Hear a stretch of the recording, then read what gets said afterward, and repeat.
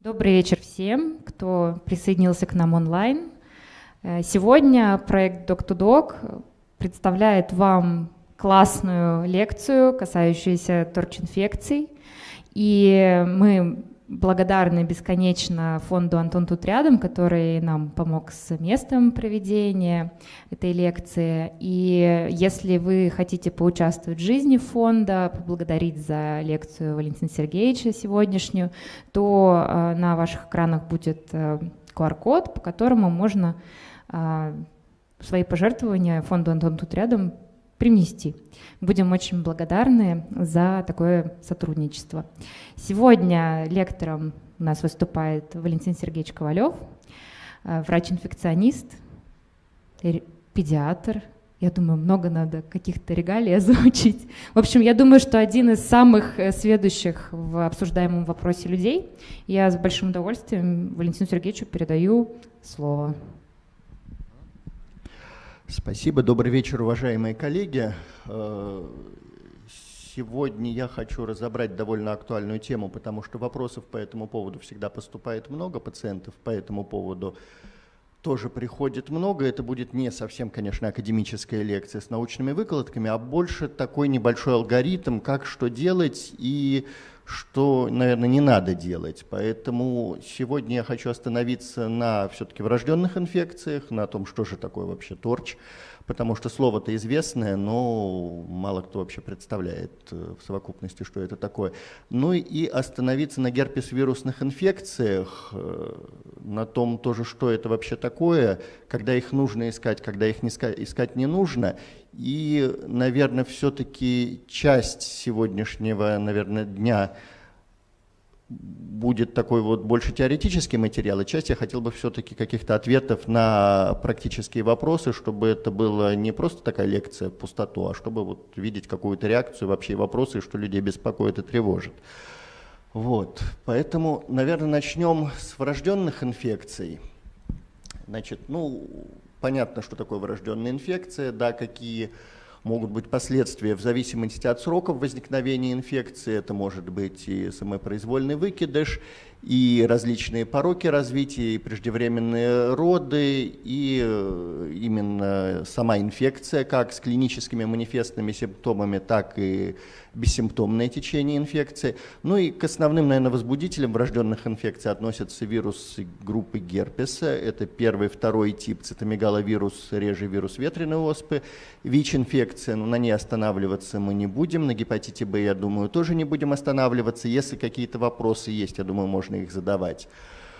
Вот, поэтому, ну, по поводу механизма передачи э, врожденных инфекций, это может быть как и инфицирование трансплацентарное, так и инфицирование через э, родовые пути, что более характерно как раз для ВИЧ-инфекции и для инфекции, вызванной гепатитом Б.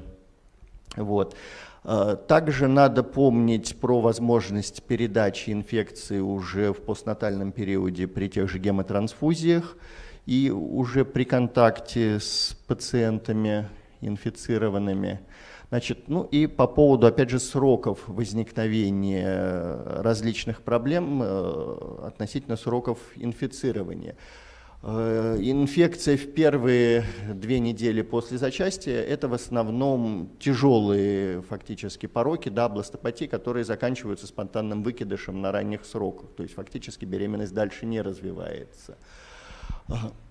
Значит, со второй по десятую неделю это как раз те истинные пороки развития, о которых мы говорим. Это могут быть пороки сердца, например, пороки нервной системы, влияние вируса, например, или какого-то иного возбудителя именно в этот период вызывает такие проблемы. Значит, ну, можно говорить о ранних фетопатиях с 10 по 28 неделю беременности – Э, с 28 по 40 это уже поздние фетопатии, э, когда чаще всего все-таки развивается картина именно самого инфекционного заболевания, врожденной инфекции. Вот, я думаю, на этом стоит остановиться. Значит, по поводу путей заражения. Это трансплацентарный путь через э, или плаценту, или разрыв околоплодных оболочек. Родовой канал во время родов интернатальный, это характерно как раз для ВИЧ-инфекции больше и гепатита Б. И внешние источники после рождения, постнатальный период, это в основном или гемотрансфузии крови, инфицированные цитомегаловирусной инфекцией или какими-то другими заболеваниями. Ну и, собственно говоря, какие могут быть исходы. Это может быть инфекционное заболевание полноценное с выраженной клинической картиной. Это может быть самопроизвольная санация от возбудителя с приобретением иммунитета. И может быть формирование носительства этого инфекционного агента с возможностью развития заболевания в будущем. Это может быть характерно как и для токсоплазменной инфекции, так и для цитомегаловирусной инфекции. Ну и, собственно говоря, наличие инфекции у матери и инфекционного поражения последа, что очень любят да, исследовать на гистологии, не означает стопроцентного инфицирования врожденной инфекции плода и новорожденного. А, по поводу аббревиатуры ТОРЧ. Это 1971 год. ВОЗ определил это как так, такой ТОРЧ-синдром а, по, как анаграмма по основным буквам которые, и тех инфекций, которые входят в эту группу. Это токсоплазмоз, это краснуха, это цитомегаловирус, это герпес, ну и, собственно говоря, другие. В эти другие входят и гепатиты, и сифилис, и микоплазмы, и стрептококи группы В, и кандида. Э, сейчас, в принципе, довольно актуальна парвовирусная инфекция, вызванная парвовирусом B19. Также можно говорить о врожденной инфекции, вызванной вирусом ветреной оспы. Э, ну, если нет четкого этиологического диагноза, если мы ничего не определяем, однако же есть соответствующая клиника инфекционного поражения, то мы просто говорим о торч-синдроме. Врожденная цитомегаловирусная инфекция. Довольно частый вариант, э, путь передачи трансплацентарный. Надо помнить, что основная группа риска – это беременные женщины, которые до беременности были серонегативны и которые не имели этой инфекции до. Это основная группа риска. То есть наиболее опасно приобретение цитомегаловируса, инфицирование беременной цитомегаловирусной инфекцией именно во время беременности. А, поэтому, соответственно, при скрининге в женских консультациях стандартно в декретированные сроки берутся антитела G к группе инфекций, и наличие антител класса G говорит о том, что беременная женщина уже имеет латентную инфекцию, собственно говоря, и риск передачи данной инфекции к плоду и к новорожденному ребенку намного меньше, чем у женщины, которая Э, не имеет этих антител, и которая э, могла приобрести острую свежую инфекцию именно во время беременности. Однако есть варианты да, и реактивации своей латентной инфекции во время беременности за счет определенной иммуносупрессии или инфицирования другим серотипом цитомегаловируса, что также может привести э, к врожденной цитомегаловирусной инфекции. Про это тоже надо помнить. Ну, мы знаем, что примерно 80-90% взрослого населения являются носителем, то есть у них есть латентные персистирующая инфекция. Э, цитомегаловирус тропен к цилиндрическому эпителию, в принципе, в нем и проживает, и поэтому в течение жизни он периодически там выделяется, и мы методом ПЦР можем его обнаружить в различных средах. Это не всегда говорит о том, что у нас имеется острая инфекция. И наличие высоковидных антител класса иммуноглобулинов G, соответственно, подтверждает о том, что все-таки эта инфекция старая и латентная. Значит, про что можно еще сказать? Да, инфекция может, ребенок может инфицироваться путем интернатальным при прохождении через родовые пути, э, может инфицироваться через грудное молоко и может инфицироваться с помощью трансфузии препаратов крови, которые рутинно не тестируются на цитомегаловирус. Про это тоже надо помнить. Но, опять же, надо понимать, что для плода и ребенка наибольший риск представляет именно инфицирование цитомегаловирусом у матери во время беременности, ранее не болевшей матери. То есть, если мать, например, э, имеет уже персистирующую инфекцию, имеет антитела G, которые через плаценту попадают к ребенку. Ребенок от этой матери, несомненно, инфицируется цитомегаловирусом, но у него не развивается манифестная картина, то есть это будет такая же латентная инфекция, которая, в принципе, никакой угрозы для жизни ребенка не представляет.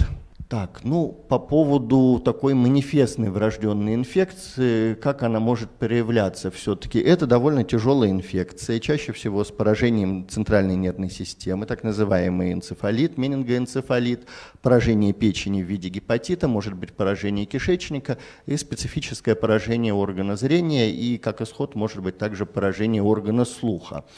Э, соответственно, мы должны помнить о том, что, например, у нас мать не болела цитомегаловирусной инфекцией, вдруг у нее происходит сероконверсия во время беременности, у нее появляются антитела, допустим, низковидные, и если ребенок рождается с признаками такой инфекции, обычно это все-таки довольно тяжелое состояние при рождении, ребенок попадает в отделение интенсивной терапии новорожденных, там проводится соответствующая диагностика и начинается соответствующая терапия специфическими препаратами. Вот. Ну, опять же, надо понимать, на этом я дальше остановлюсь, что бессимптомная цитомегаловирусная инфекция, в принципе, в терапии препаратами не нуждается. Соответственно, на чем можно еще сделать акцент? Инфекция может передаваться через грудное молоко. Цитомегаловирус может выделяться в грудное молоко, как и в другие среды организма, и там может определяться соответствующими методами, но, опять же, риск развития тяжелого синдрома, связанного с врожденной инфекцией, при таком способе передачи в принципе невозможен. Поэтому ребенок просто инфицируется. Э, что надо еще помнить? Да, что ребенок э, с таким синдромом получает противирусную специфическую терапию, возможно, варианты, я про них скажу. Далее он требует все-таки наблюдения в постнатальном периоде, обязательных осмотров окулистом, Э, осмотр глазного дна для выявления специфических симптомов, это будет специфический хориоретинит. Опять же, э, аудиоскрининг, э, осмотры периодические сурдолога, потому что основные у нас мишени поражения, да, особенно отсроченные, это зрение и слух. Мы в первую очередь следим за тем, чтобы ребенок видел и слышал. Ну, поражение печени гепатита, они в принципе не специфические, да, мы можем увидеть по повышению трансаминаз, ну, опять же, это не сильно тяжело протекает. Хуже всего, когда это генерализованная инфекция по типу такого сепсиса подобного синдрома э, с развитием врожденной пневмонии и поражения ЦНС. Все-таки, наверное, это доминирующее по тяжести поражение. Значит, хотел бы остановиться все-таки на диагностике, потому что тут возникает больше всего проблем. А, у нас есть, ну, вирусологический метод, в принципе, нам практически недоступен. То есть это выращивание вируса на куриных эмбрионах, это в основном все-таки методы, связанные э, с какими-то лабораторно-экспериментальными исследованиями, и рутинно они не проводятся. Значит, мы можем обследовать э, мать и ребенка серологически. Мы можем определять антитела класса иммуноглобулина М, класса иммуноглобулина G э, в сыворотке, и мы можем определять ДНК самого вируса в различных средах. Это может быть кровь, это может быть цереброспинальная жидкость, может быть отделяемые носоглотки, моча, слюна. Э, чувствительность наиболее высока у мочи и слюны, однако тоже надо понимать, что для э, постановки диагноза, да, острой активной цитомегаловирусной инфекции, выделения вирусов в моче или слюне недостаточно. Желательно обнаружение ДНК вируса хотя бы в двух средах, и желательно, чтобы одна из этих сред была все-таки или кровь, или цереброспинальная жидкость. Тогда мы все-таки можем говорить об активной инфекции, а не о носительстве, потому что, опять же, после перенесенной инфекции формируется длительная латентная инфекция, э, пожизненная, и методом ПЦР мы можем определять этот вирус как в моче, так и в отделяемом из носоглотки в течение длительного времени дискретно. То есть он может выделяться, может при каких-то различных интеркуррентных инфекциях там, выделяться, а потом не выделяться. То есть это диагностического какого-то значения не играет.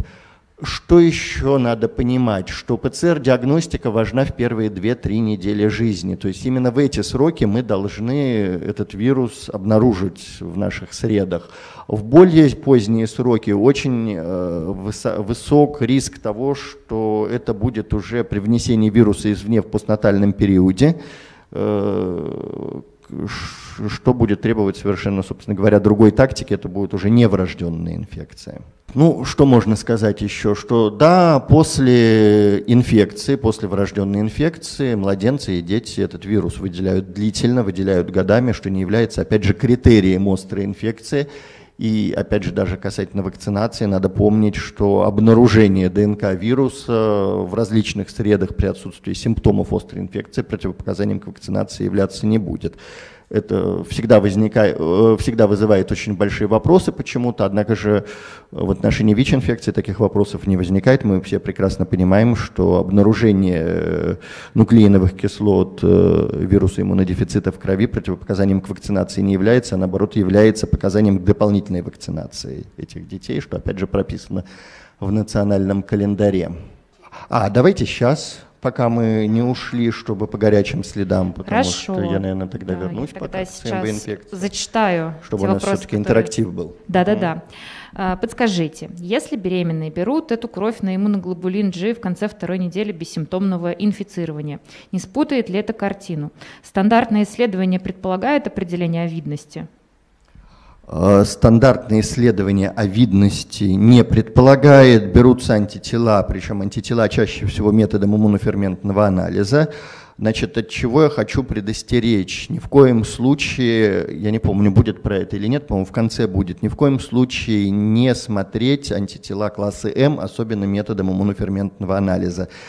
Э, очень много перекрестных реакций, тест-системы недостаточно совершенны, и очень много приходит пациентов, которые имеют G, э, причем потом при дальнейшем исследовании оказывается, что эти G высоковидные были, и вот эти вот антитела класса М, они смущают, и очень часто, скажем так, доктора в консультациях начинают пугать тем, что вообще будет врожденная инфекция, все, срочно бежим делать аборт. На самом деле, я вам открою тоже небольшой секрет, мы как-то проводили исследования сывороток разными методами параллельно. Да, я сам сдавал кровь, мы смотрели методом ИФА, методом хемилюминесцентного анализа, ну, известный метод на архитекте, который выполняется. И, собственно говоря, получалось так, что у нас в ИФА ИГМ+, э, в хемилюминесценции ИГМ-. минус. То есть и наличие, опять же, иммуноглобулина G параллельно э, нам опровергает активную острую инфекцию. А, врач-акушер-гинеколог Лахта клиники Хиврич Екатерина Борисовна ради дискуссии хотела небольшую такую ремарочку сделать в наш нынешний действующий приказ, ровно как и в предыдущий, э, обследование на иммуноглобулины М и G к цитомегаловирусу не входит. Это не является обязательным обследованием во время беременности. В настоящее время единственной инфекцией, на которую мы обследуем э, в смысле иммуноглобулинов М и G, это краснуха. По прошлому приказу 572 еще была токсоплазма. Ну, на самом деле это хорошо, потому что сейчас у нас э, скажем так, 20 лет назад э, доступность серологического тестирования населения была невысока, и э, не было такого повального скрининга. А сейчас у нас у многих врачей возникает такой соблазн, вот приходит пациент, а давай-ка мы ему назначим все. И ИГМ, и ИГГ мы назначим ему, и, и на все, и потом получаются результаты, которые мы, собственно говоря, не можем трактовать. Поэтому я, когда пациентам обычно объясняю другим врачам, если мы назначаем анализ какой-то, да, мы должны должны понимать, что мы будем делать с его результатами, что мы будем делать, если результат будет положительным, что мы будем делать, если результат будет отрицательным, и как, как вообще, какое практическое приложение от, этих, от этого нашего знания, какой выхлоп будет. Потому что, ну, мой любимый анализ, но это немножко из другой оперы, это моя любимая векторовская панель на антитела джиг-гельминтом, Э, это, не знаю, это, наверное, ужас любого инфекциониста, потому что, ну, да, и сопричастных тоже врачей, потому что вот это вот безумное, давайте мы назначим всю номенклатуру, которая есть в прескуранте клиники, когда пациент приходит непонятно с чем, а вот мы ему назначим, а вот что-то выстрелит. Ага, у него будут антитела М к трихинеллам, например, да, Человек, который всю жизнь жил в Санкт-Петербурге, который не ходит с ружьем на медведя, который, как бы, можно сказать, не ест сало, да, особенно привезенное откуда-нибудь с Ростовской области. Ну, откуда у него трихинеллез? Поэтому в первую очередь хотелось бы докторам сказать, сначала мы клинику смотрим, да, думаем, что мы будем назначать, потом мы решаем, какие анализы мы назначаем в этом случае, а потом уже мы думаем, как мы их будем трактовать в соответствии с клиникой, потому что, к сожалению, вот этот соблазн назначить всю номенклатуру на герпес, вирусы, на ирсинии антитела тоже очень спорный сейчас момент, опять же, очень некачественная эта система, которая, ну, я думаю, что если я сдам, у меня, наверное, тоже будут антитела им к ирсиниям, ну, вот такая-то система. Вот. И ну, на этом основании потом же диагнозы ставятся. И одно дело там какая-то вирусная инфекция, которую полечат чем-то непонятно чем, и ладно. А другое дело, когда этот эрсиниоз начнут бомбить каким-нибудь левомецтином, что, собственно говоря, потом придет к последствиям. Я, честно говоря, не читал э, гинекологических приказов, вот. Я просто знаю, что ко мне приходят периодически пациенты, приходят пациенты в истерике, потому что они сдают антитела G и зачем-то им назначают M. И имея антитела G, например, с высоким титром к вирусу краснухи, о чем дальше мы будем говорить так довольно кратко, Соответственно, они получают какие-то надпороговые антитела класса М в ИФА, которые, собственно говоря, вот контроль превышают ну, там, в полтора раза даже, ну вот надпороговые. И находятся люди, которые пугают, говорят, все, врожденная краснуха, срочно идем делать аборт. Но какая может быть врожденная краснуха, если есть высоковидный G, и если, например, эта женщина специально год назад до беременности получала вакцинацию. Поэтому вот э, тут с серологическим скринингом очень много вопросов возникает, и как раз иногда лучше не назначить, чем назначить лишнее. Поэтому, ну вот по поводу сейчас, наверное, пройдем вот эти все врожденные инфекции, наверное, резюмируем, что все-таки да, мы назначаем G, если мы получаем положительные G, то я думаю, на этом мы останавливаемся в нашем диагностическом поиске. Ну, если уж очень хочется посмотреть, если были какие-то сомнительные случаи, например, к нам приходит беременная женщина, у нее вроде как она не помнит, что у нее было, да, и вдруг она во время беременности получает G там на какой-нибудь там 30-й неделе, а на какой-нибудь там 15-й неделе она перенесла что-то мононуклеозоподобное. Да, вот тут мы можем, наверное, уже попробовать овидность назначить, посмотреть, что у нее там вообще творилось, не перенесла ли она действительно первичную ЦМВ-инфекцию во время, вот, например, какого-нибудь первого-второго триместра. И как мы дальше, опять же, будем с, этим, с этой женщиной и с ребенком работать. Можно я вопрос угу. по поводу диагностики? Все-таки мы, получается, не берем э, с интервалом в две недели э, иммуноглобулины G?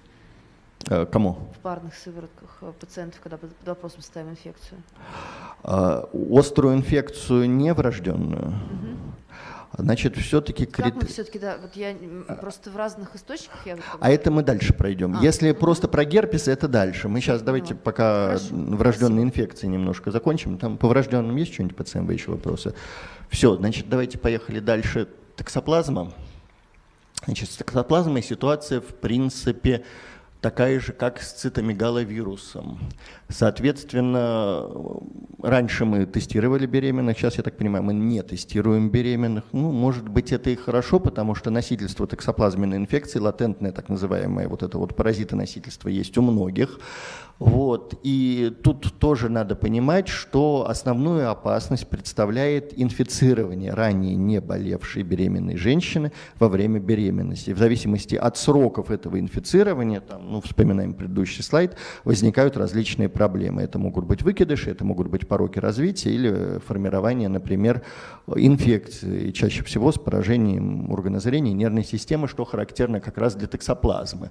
Ну, может быть, конечно, вот весь комплекс вот так называемой этой врожденной инфекции, это может быть различные варианты сыпи, геморрагическая сыпь, и желтухи, и поражение сердечно-сосудистой системы, но в основном все-таки смотрим, да, нервную систему, специфические изменения в головном мозге по данным визуализации, э, специфические изменения на глазном дне, хориоретинит специфический, да, токсоплазменный, Вот. И, соответственно, решаем вопрос, надо ли лечить дальше этого ребенка. И с терапией там тоже не все так просто, потому что есть разные группы препаратов для каждой стадии инфекции. То есть мы беременных лечим одним препаратом, это, ну, это спиромицин в принципе, да. Инфекцию уже симптомную, постнатальную мы лечим совершенно другими препаратами. Тут спиромицин как раз совсем не пойдет. Это будут комбинации сульфаниламидов там с другими протозоинными препаратами, поэтому тоже поним, надо понимать, что в первую очередь надо поставить диагноз и подтвердить его, а не опять не лечить антитела. Поэтому э, что надо знать по поводу токсоплазмы? Ну да, я сказал, что это только первичная материнская инфекция ранее не болевшей женщины может привести к врожденной инфекции. А, реактивация или реинфекция новым серотипом бывает, но случается гораздо реже. Э, инфицирование токсоплазмой в принципе происходит при контакте с животными, это раз, и надо помнить о таком источнике этой инфекции, как сырое мясо. Поэтому не рекомендуется беременным женщинам пробовать фарш на вкус, если вы делаете котлеты, например, не увлекаться всякими там карпаччо-тартарами и, ну, в принципе, прочими продуктами из сырого мяса, потому что, ну, это таит в себе некий риск инфицирования. Ну и опять же, если у вас там есть кошка, то убирать за кошкой, используя перчатки, например, и ну, определенные методы тоже защиты. Так, что еще можно сказать по токсоплазме? Да, наверное, по токсоплазме в принципе все. Так, врожденная краснуха. Про врожденную краснуху говорить мы уже начали. Врожденная краснуха, к сожалению, сейчас э, встречается. Я, правда, ее видел один раз пару лет назад. Это были очередные наши любимые веганы-сыроеды, которые рожали э, на Бали. Э, ну, это у нас уже классические, да, мы вчера, э, вчера как раз я по поводу коклюшной инфекции, э, одно выступление у меня было, и мы как раз вспоминали наших друзей вот, которые потеряли ребенка от коклюшной инфекции. Вот. Значит, что можно сказать про краснуху? Все, наверное, слышали такой термин, как триада Грега. Это типичные проявления врожденной краснушной инфекции у новорожденного, которые включают э, порог сердца. Насколько я помню, у того ребенка, которого я видел, там был, по-моему, стеноз легочной артерии, но не буду врать, может быть, память меня подводит. Там было поражение органа зрения, поражение слуха, а ребенок к нам попал, потому что там было еще повышение трансаминаз. Они ходили к неврологу, их направили на реабилитацию. Перед реабилитацией надо было сдать АЛТ и дисгруппу, как обычно, ну, стандартные методы на наши любимые анализы, которые сдаются при любой плановой госпитализации. Вот. Ну и, собственно говоря, там вылезли повышенные трансаминазы, и почему-то этот ребенок нам попал с диагнозом вообще гепатит. Ну, потом вот стали смотреть, а там оказалось много всего интересного. Там э, антипрививочники мать перенесла в Москве на седьмой, по-моему, или на десятой неделе беременности что-то похожее на экзантему с сыпью. Э, она не обследовалась, соответственно, ну, это были естественные лотосовые роды, так называемые, и в Индии уже там был заподозрен порог сердца, потому что они обращались к специалистам, по-моему, еще тугоухости. А, они пошли еще почему? Потому что, ну, увидели, что идет поражение зрения, они увидели катаракту, глаза выглядят не так. Вот.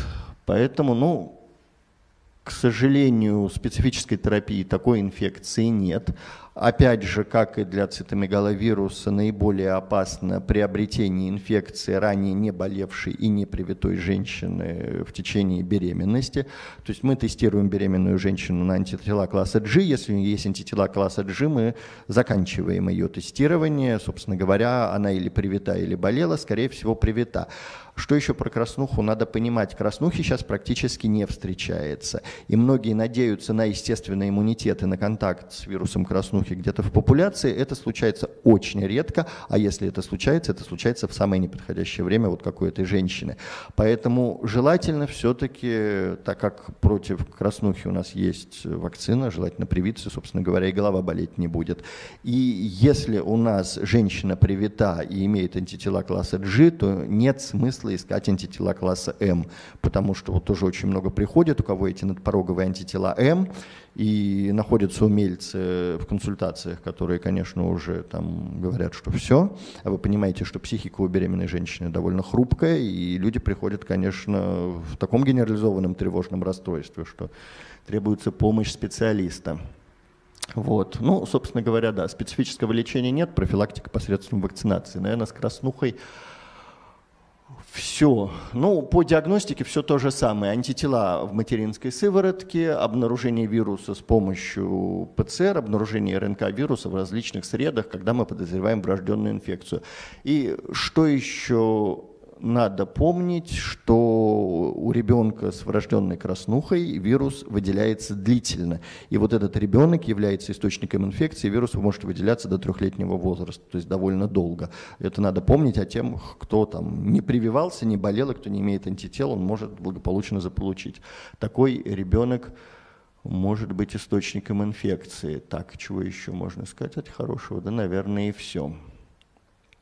Значит, парвовирус B19. Инфекция, сейчас вроде про нее хоть что-то знают, раньше вообще многие, э, ну, например, когда я учился в институте, нам про это вообще ничего не говорили.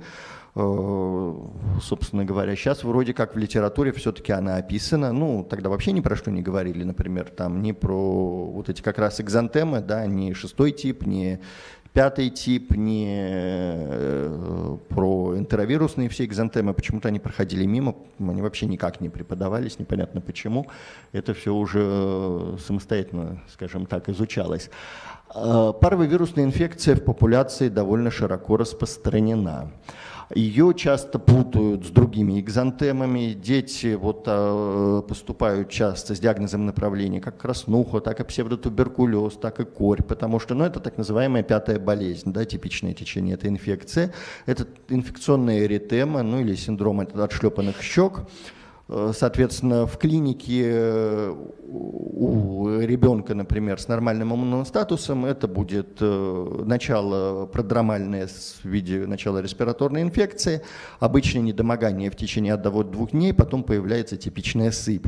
И если почитать, в принципе, литературу, то вы узнаете, что появление сыпи, в принципе, говорит о том, что это уже иммунная реакция, ребенок в этот период уже не заразен. То есть наибольшая заразность как раз была в продроме в инкубационном периоде. Что еще надо знать про парвовирус? Парвовирус имеет э, некую опасность для пациентов э, отделений онкогематологии, потому что вирус тропен к эритробластам и к костному мозгу. И он может, помимо вот такой типичной детской, скажем так, экзантемной инфекции, провоцировать довольно тяжелые пластические анемии у лиц, у лиц, которые к этому предрасположены, и вызывать довольно выраженную депрессию кроветворения. Про это надо помнить. Э, про что еще можно э, сказать? Что, например, в в случае, например, каких-то семейных вспышек этой инфекции у части пациентов, например, это могут, может быть типичная инфекционная эритема, а у кого-то это могут быть довольно типичные, довольно красивые э, реактивные артриты, например. И очень часто как раз они случаются у женщин, в основном это поражение коленного сустава, это такой хороший реактивный артрит, красный, горячий, болезненный, с выпотом. Такое тоже может быть. Значит, ну, у людей с нормальным иммунным статусом эта инфекция протекает благоприятно, терапии какой-то противовирусной она не требует, но надо помнить, что пациент э, может заразить э, других, например, или пациентов с иммунодефицитом, или беременных женщин, ранее не болевших этой инфекцией. На самом деле она не так распространена в популяции, как, например, как герпес-вирус, и, и очень у малого количества людей антитела к паровирусу B19 выявляются, поэтому, в принципе, вот Э, но я обычно всегда спрашиваю, если обращается пациент с жалобами на такую сыпь, нет ли в окружении где-то беременных женщин, и те, кто планирует, потому что как бы тут за ними должно быть наблюдение. На ранних сроках вирус вызывает выкидыши, на поздних сроках он может вызывать тяжелую анемию, которая может э, также приводить к выкидышу, к мертворождению. Э, в качестве терапии я знаю, что в принципе центр Алмазова практикует э, гемотрансфузии внутриутробные. Ну, противовирусного специфического лечения не разработано, и не знаю, будет ли разработано. Значит, хотелось бы остановиться на вирусе простого герпеса. Это первый и второй тип, наверное, вот по тяжести течения и по проявлениям это наиболее тяжелая врожденная инфекция. А, тут тоже есть определенный алгоритм э, в виде как бы именно э, в плане диагностики этой инфекции.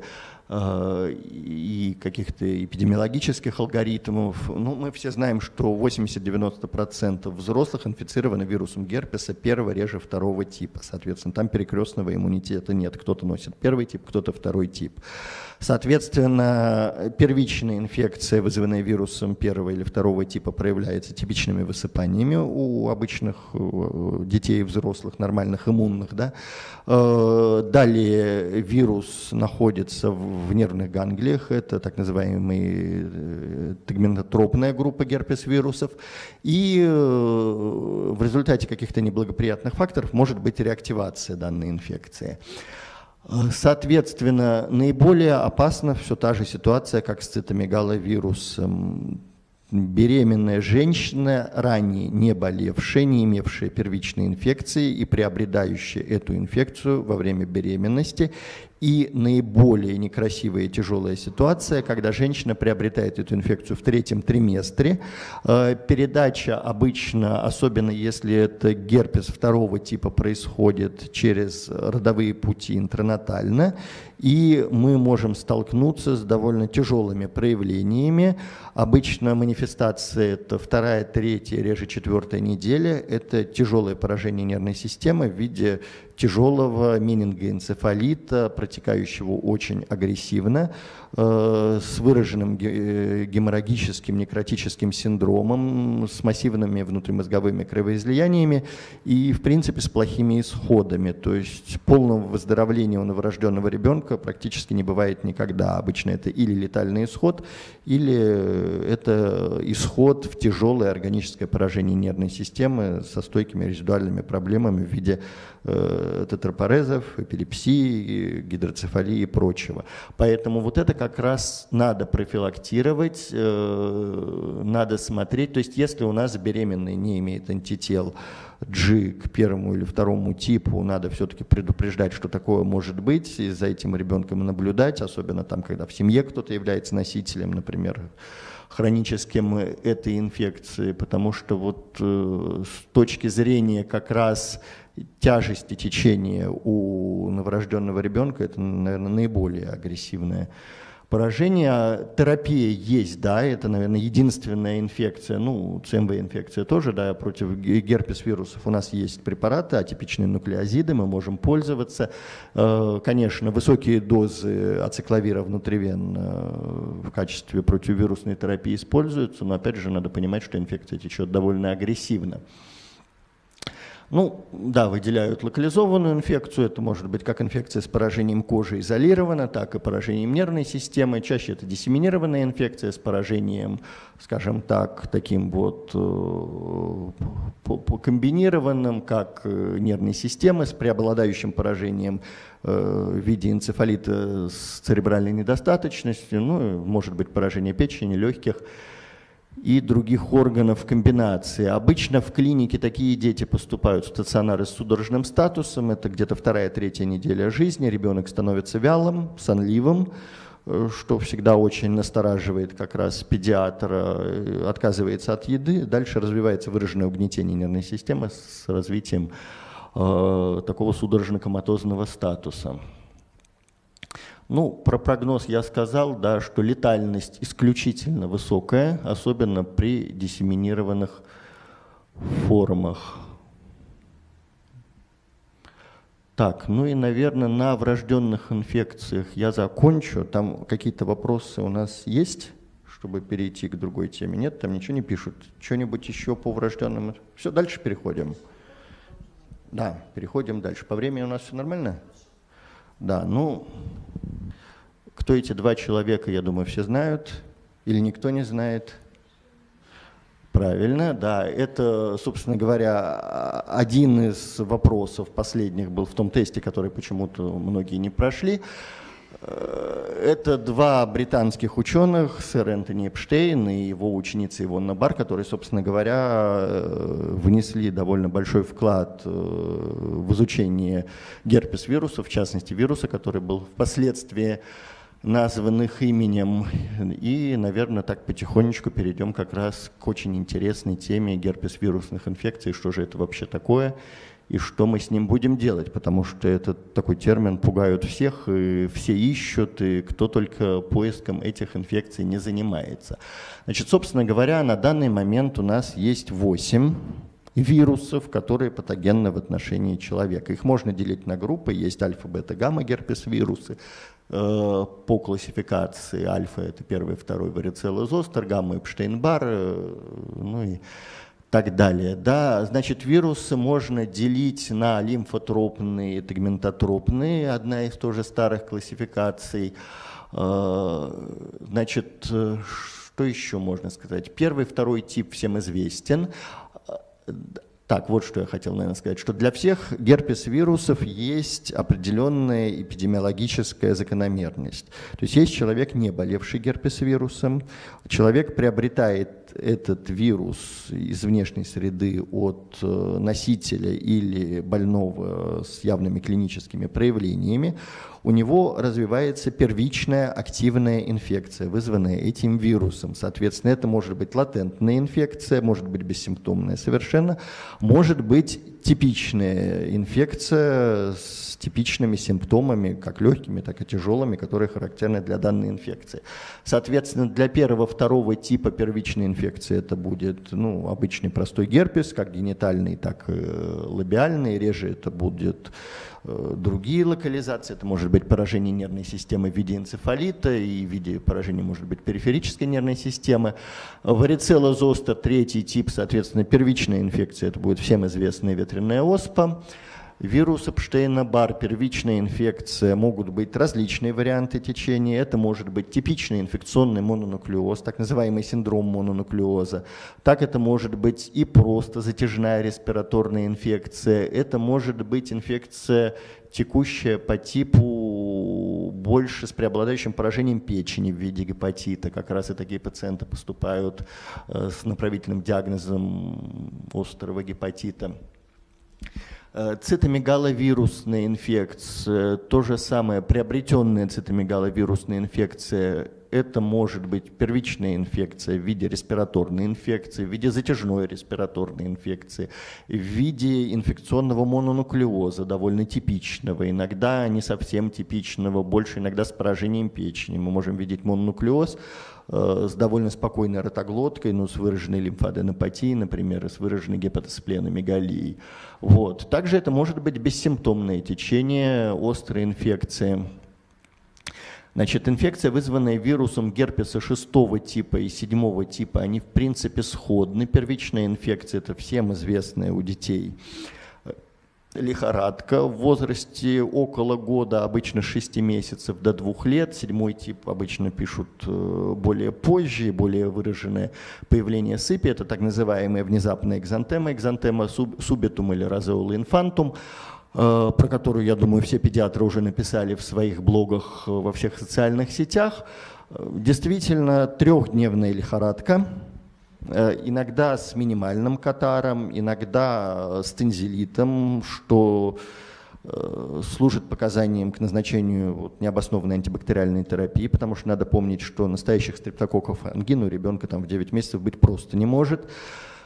Вот, и обычно ребенок лихорадит стойко, высоко. Иногда э, этот вирус может спровоцировать, он все-таки имеет некую тропность нервной системы, и с этим вирусом могут быть связаны как раз фибрильные судороги у детей в этом возрасте. И в дальнейшем на четвертые сутки температура падает, и в этот момент появляется типичная пятнистая сыпь, обычно на шее, на лице, на груди, на животе. Э, сыпь трактуется по-разному, каких только диагнозов не бывает. Чаще всего, так как ребенок три дня высоко лихорадит, к нему неоднократно приходит доктор, к нему приезжает бригада скорой помощи, он получает много чего хорошего, он может там получать инъекции литической смеси, различные комбинации жаропонижающих, так как ребенок длительно лихорадит, он может получать антибиотики, различные противовирусные препараты. Ну и, собственно говоря, появление сыпи в разрешении этой болезни трактуется как аллергическая реакция на все то, что ребенок получал в этот период. Значит, какие еще там типичные клинические проявления, на что можно смотреть? Обычно просто иногда поступает ребенок там, в возрасте 9 месяцев, стойко лихорадит, без других симптомов. Вот действительно кажется, что будет это оно. Это затылочные лимфоузлы, очень типичная затылочная лимфоденопатия. Она находится сразу, в принципе, и вы можете сказать «да», и можете маме сказать «вот, вы знаете, у вас буквально вот через два дня там появится сыпь такая, вы не пугайтесь, это вот нормальное течение инфекции». И самое интересное, что когда сыпь появляется, мама начинает верить во врача, потому что он это сказал. Вот. Но надо помнить, что э, э, сыпь появляется примерно у трети всех случаев э, пациентов, которые переносят эту инфекцию. Это может быть просто стойкая высокая лихорадка, которая разрешается сама по себе. Поэтому, наверное, вот все вот эти вот рассказы о том, что зубы резались с высокой температурой, она по времени просто совпадает, поэтому чаще всего вот эти вот все, э, когда бабушки начинают говорить, вот у нас, да, у папы, мамы тоже в этом возрасте с такой температурой высокой резались зубы, скорее всего, это была вот эта инфекция. Потому что все-таки прорезывание зубов температуру 39-40, наверное, все-таки не вызывает. Что еще можно сказать? Да, после снижения температуры и появления сыпи, я думаю, многие педиатры, которые эти детей видели, дети очень капризные очень капризные и очень такое неприятное поведение, они отказываются от еды, они там дерутся, и, ну, вот есть особенность такая поведенческая. Ну, седьмой тип, в принципе, ничем не отличается, отличается только тем, что чуть позже по возрасту это может случиться. Поэтому, когда пациенты говорят, ой, у нас уже такое было и вот опять, ну, это может быть действительно седьмой тип. А, восьмой тип, я на нем останавливаться не буду, это вирус, который больше характерен для пациентов с ВИЧ-инфекцией, и основное его проявление – это так называемая саркома капыши, это ассоциированное с этим вирусом заболевание. Я думаю, кто занимается ВИЧ-инфекцией, про это, про это знает. Так, значит, про... Э, Валентин Сергеевич, э, есть вопрос из чата, пока мы далеко не ушли. Эм, спрашивают слушатели, правильно ли они понимают, что возникновение может появиться либо первый, либо второй тип, ну, очевидно, речь про герпес вирусы, или все же они могут составить и могут друг другу сопутствовать. Тут так кучеряво Нет, первый и второй тип – это разные вирусы, это разные инфекции. Соответственно, у нас бывает или первый, или второй, то есть там нет никаких перекрестных этих самых. Человек mm-hmm. может быть инфицирован первым типом, может быть инфицирован вторым, и они совершенно, ну, это все и, равно, и первым, что ЦМ, и вторым и тоже. первым, и вторым тоже, это mm-hmm. все равно, что ЦМВ и ветряная оспа – это разные mm-hmm. инфекции, mm-hmm. поэтому как бы иногда антитела суммарно определяются, это да, но есть такая эта система, ну, вот, значит, чего дальше? А, соответственно, у нас развивается первичная инфекция, вызванная этим вирусом. Эта инфекция течет, течет, течет. Она может течь остро, может течь э, подостро. Э, иногда инфекция, вызванная вирусом Эпштейна-Барр или ЦМВ у детей раннего возраста, может очень изматывать родителей. Это может растянуться на пару месяцев. И это может быть такая затяжная респираторная инфекция, когда они вот приходят, говорят, вот нос заложен, ничего не помогает, вот он храпит постоянно, какая-то субфибрильная температура, и вообще непонятно что, и вот он болеет, он болеет, он болеет, и мы так вот устали, и все. Но, тем не менее, вот так она течет, повлиять на это мы ничем не можем. На самом деле, чем меньше мы вмешиваемся в этот процесс, тем быстрее активность инфекции уйдет, и тем быстрее у нас сформируется, собственно говоря, так называемая латентная инфекция. Соответственно, вирус остается, любой герпес-вирус остается в организме пожизненно, в разных локализациях, соответственно, первый, второй тип и третий – это обычно нервные ганглии все-таки, э, а Эпштейн-Бар – это Б-лимфоциты, он обычно там проживает, соответственно, цитомегаловирус, шестой тип – это тоже лимфоидная ткань, цилиндрические эпители, где он может постоянно проживать. И, собственно говоря, все мы, вот если нас сейчас скринингово всех пообследовать, у, вас, у нас, наверное, процентов у 80 будут антитела к различным герпес-вирусам, ну, скорее всего, первый тип, второй, наверное, ветряная оспа тоже, Эпштейн-Бар, ЦМВ, шестой тип, наверное, тоже это будет. Но у кого будет, у кого нет. Вот, то есть мы все являемся носителями. У нас есть латентная инфекция. Вирус у нас живет, и, собственно говоря, пока мы не заболели тяжелым иммунодефицитом или ВИЧ-инфекцией, или вдруг с нами не случилась какая-нибудь онкогематология, требующая э, тяжелой химиотерапии, собственно говоря, эти вирусы живут, будут жить, и мы с ними там будем жениться, рожать детей, там, стареть, например, и дальше передавать по цепочке эти вирусы своим детям. Вот, наверное, это называется латентная инфекция или носительство. Соответственно, что у нас может быть? У нас может быть реактивация. Э, в каких случаях это может быть, например? Для обычно первых трех типов существуют факторы, которые способствуют этой реактивации. Это могут быть как острые инфекции, это могут быть тяжелые инфекции, например, очень часто бывают герпетическое высыпание на фоне той же пневмококковой крупозной пневмонии. А, варицелла зостер реактивируется в виде так называемого опоясывающего герпеса, ну или опоясывающего лишая, соответственно, и поражает э, те сегменты, те нервы, ну, собственно говоря, в узлах которых он поселился. Это могут быть как чаще всего паравертебральные ганглии грудного отдела, так это могут быть и ядра черепных нервов, соответственно, у нас тогда будут специфические проявления. Э, первый тип все-таки это чаще черепно-мозговые нервы, чаще это все-таки тройничный нерв – Э, одним из факторов провокации, кстати, тоже может быть местная проводниковая анестезия в стоматологии. Очень часто пациенты жалуются после э, вот этой вот анестезии по ходу ветки тройничного нерва возникают высыпания, которые требуют терапии. Иногда тройничный нерв в принципе очень довольно часто дает э, такие выраженные болевые синдромы, поэтому это иногда требует назначения и противосудорожных препаратов, антидепрессантов. Для инфекции, вызванной вирусом Штейна-Бар, реактивации бывают, они бывают в течение жизни, они текут бессимптомно, то есть на фоне какой-то другой инфекции, там, например, того же гриппа или другой респираторной инфекции, мы можем обнаружить э, ДНК вируса в различных средах, но это опять же не говорит об активности, это может быть реактивация бессимптомная, спонтанная, которая в принципе также сама разрешается. А, про что еще хотелось бы сказать, например, что все-таки герпес-вирусы – это такие вирусы-индикаторы. И если мы видим у пациента клинику а, активной инфекции, не первичной, а реактивации ее, в первую очередь мы должны задуматься, откуда это взялось. То есть мы не должны начинать как бы именно это лечить, а мы должны понимать, с чем связана реактивация.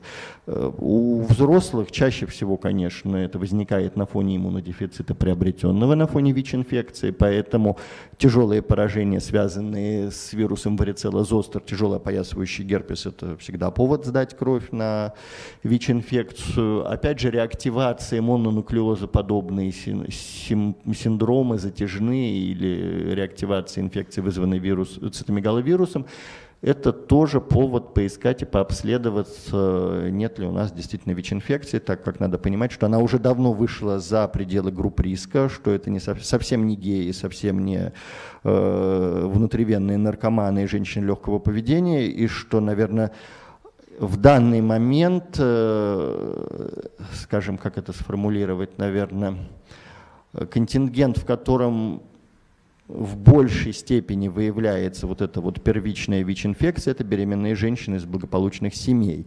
Э, не потому, что они этим чаще болеют, а потому, что просто они проходят скрининг. То есть они идут в женскую консультацию, они сдают кровь, и у нас вот это вот все обнаруживается.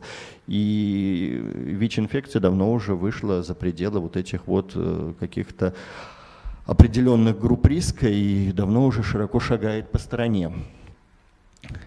Так, значит, вот по поводу диагностики, про что хотелось бы сказать. Соответственно, по методам диагностики у нас есть серологические методы диагностики, вирусологические методы диагностики и молекулярно-генетические методы диагностики. Соответственно, вирусологические методы – это больше экспериментальные методы, используемые в различных клинических исследованиях, они не сильно актуальны. То есть, опять же, заражение, выращивание – это требует определенных лабораторных определенных лабораторий, определенных культур клеток, поэтому рутинно это все-таки не используется, хотя в международных стандартах это периодически появляется. Значит, нам доступно что? Серология, определение антител к различным белкам вируса, э, различных классов, и нам доступно обнаружение ДНК вируса в различных средах, и, соответственно, по сочетанию серологических методов исследования и э, молекулярно-генетических мы можем э, сказать, какая у нас имеется стадия заболевания, имеется ли активность, да, это первичная острая инфекция или это реактивация, например, какой-то старой инфекции. И, честно говоря, я не сторонник назначения, например, только какого-то одного класса антител, потому что нет, конечно, с экономической точки зрения для пациента, может быть, это оправдано, но э, надо понимать, что определение антител класса иммуноглобулинов М, оно не всегда достоверное, и получив эти антитела, не зная, как имеются ли антитела класса G, сказать, острая эта инфекция или нет, не всегда корректно. Опять же, ПЦР-диагностика, да, метод очень чувствительный, мы обнаруживаем ДНК-вирусы в различных средах, но, опять же, без антител по ПЦР-диагностике сложно сказать стадию процесса. То есть мы по ПЦР-диагностике можем только констатировать репликацию вируса в какой-то среде, и все. Э, соответственно, понять, это первичная инфекция или не первичная инфекция, мы тоже не можем. Поэтому, если у нас цель действительно понять, чем болеет пациент, ну, лучше все-таки назначать и то, и то. Значит, по цитомегаловирусной инфекции. А, ну, по вирусу Эпштейна-Бар, что э, ИФА, в принципе, хорошая тест-система, Э, если какие-то сомнения, опять же, метод хемилюминесценции, мы определяем четыре класса антител. Это антитела М, антитела G к апсидному белку, антитела G к, ранним, к предранним антигенам и G к ядерным белкам. Э, во всех книжках инфекционных существует картинка, таблица, и по сочетанию вот этих вот антител четырех классов вы можете сказать, это отсутствие инфекции, это первичная активная инфекция, это угасающая первичная инфекция или это так называемая поздняя пастинфекция носительства. Значит, на что надо обращать внимание? Антитела класса М очень часто после первичной инфекции сохраняются длительно, иногда год, иногда больше. И если у вас пациент, например, переболел инфекционным мононуклеозом, вы больше ориентируетесь на появление антител к ядерному белку. И если они появились, вы можете говорить о том, что да, паст-инфекция уже сформировалась, о том, что сформировалось носительство, потому что иногда запаздывает элиминация антител, иногда это могут быть перекрестные реакции с другими антителами организма. Можно делать делать, конечно, э, смотреть антитела MG методом иммуноблота, но, опять же, не все хорошо его трактуют. Иногда, да, бывает, что какой-то определенный белок держит вот всю эту реакцию, и получается, что у нас постоянно пациенты ходят, у них иммуноглобулины М положительные, их лечат, лечат, лечат, лечат, непонятно от чего. Вот, поэтому что должно настораживать? Ранний белок. Ранний белок – это признак, э, скажем так, активной агрессивной инфекции. Появление его вдруг внезапно как раз говорит о том, что мы будем что-то уже искать нехорошее. То есть если у нас пациент был с паст-инфекцией, у него были джик к апсидному и джик к ядерному белку, а вдруг э, появляются какие-то симптомы, и вдруг вылезает ранний антиген, как бы вот надо задуматься, потому что, да, с вирусом Эпштейна-Бар у нас много различных заболеваний может быть ассоциировано на этом, я думаю, позже остановимся. Вот. Ну, то есть тут нужен определенный диагностический поиск.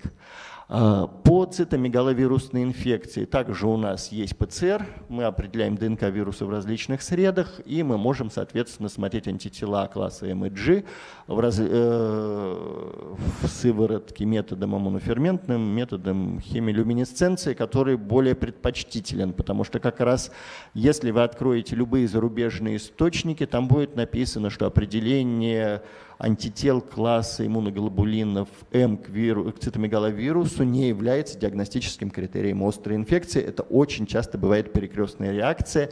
И очень часто как раз у пациентов с инфекционным мононуклеозом, которых определяются антитела класса ИГМ к апсидному белку, у них также определяются антитела иммуноглобулина М к цитомегаловирусу. Но это не значит, что это идет микст инфекция, это значит, что у нас идет такая перекрестная реакция. Так, значит, по поводу цитомегаловируса, ну что еще мы можем смотреть? Можем, конечно, смотреть овидность антител, потому что, опять же, низковидные антитела, высоковидные антитела будут играть роль в диагностике. И критерием диагностики активной ЦМВ-инфекции все-таки будет сочетание, ну, во-первых, наличие симптомов инфекции, Во-вторых, э, обнаружение ДНК вируса хотя бы в двух средах, желательно одной из которых будет кровь, ну и определение, опять же, антител, ну, может быть, нарастание титра антител G. То есть, опять же, это комплексное исследование, и ставить диагноз только по обнаружению иммуноглобулинов М не совсем корректно. Для вируса герпеса шестого типа, в принципе, у нас только есть серология и ПЦР, обнаружение ДНК вируса в различных средах. Антитела класса М фактически для диагностики не используются. Серологически мы смотрим G как ретроспективный метод о том, что был пациент инфицирован, и все-таки критерием активности инфекции репликации будет у нас ПЦР, но опять же желательно в нескольких средах. Для чего это важно? Например, вирусы герпеса могут помимо вот э, обычных тех вот форм инфекции, инфекции у пациентов, обычно с какими-то дефектами иммунной системы, они могут вызывать, например, поражение нервной системы. Вирус герпеса шестого типа редко, но может вызывать, например, энцефалиты у детей.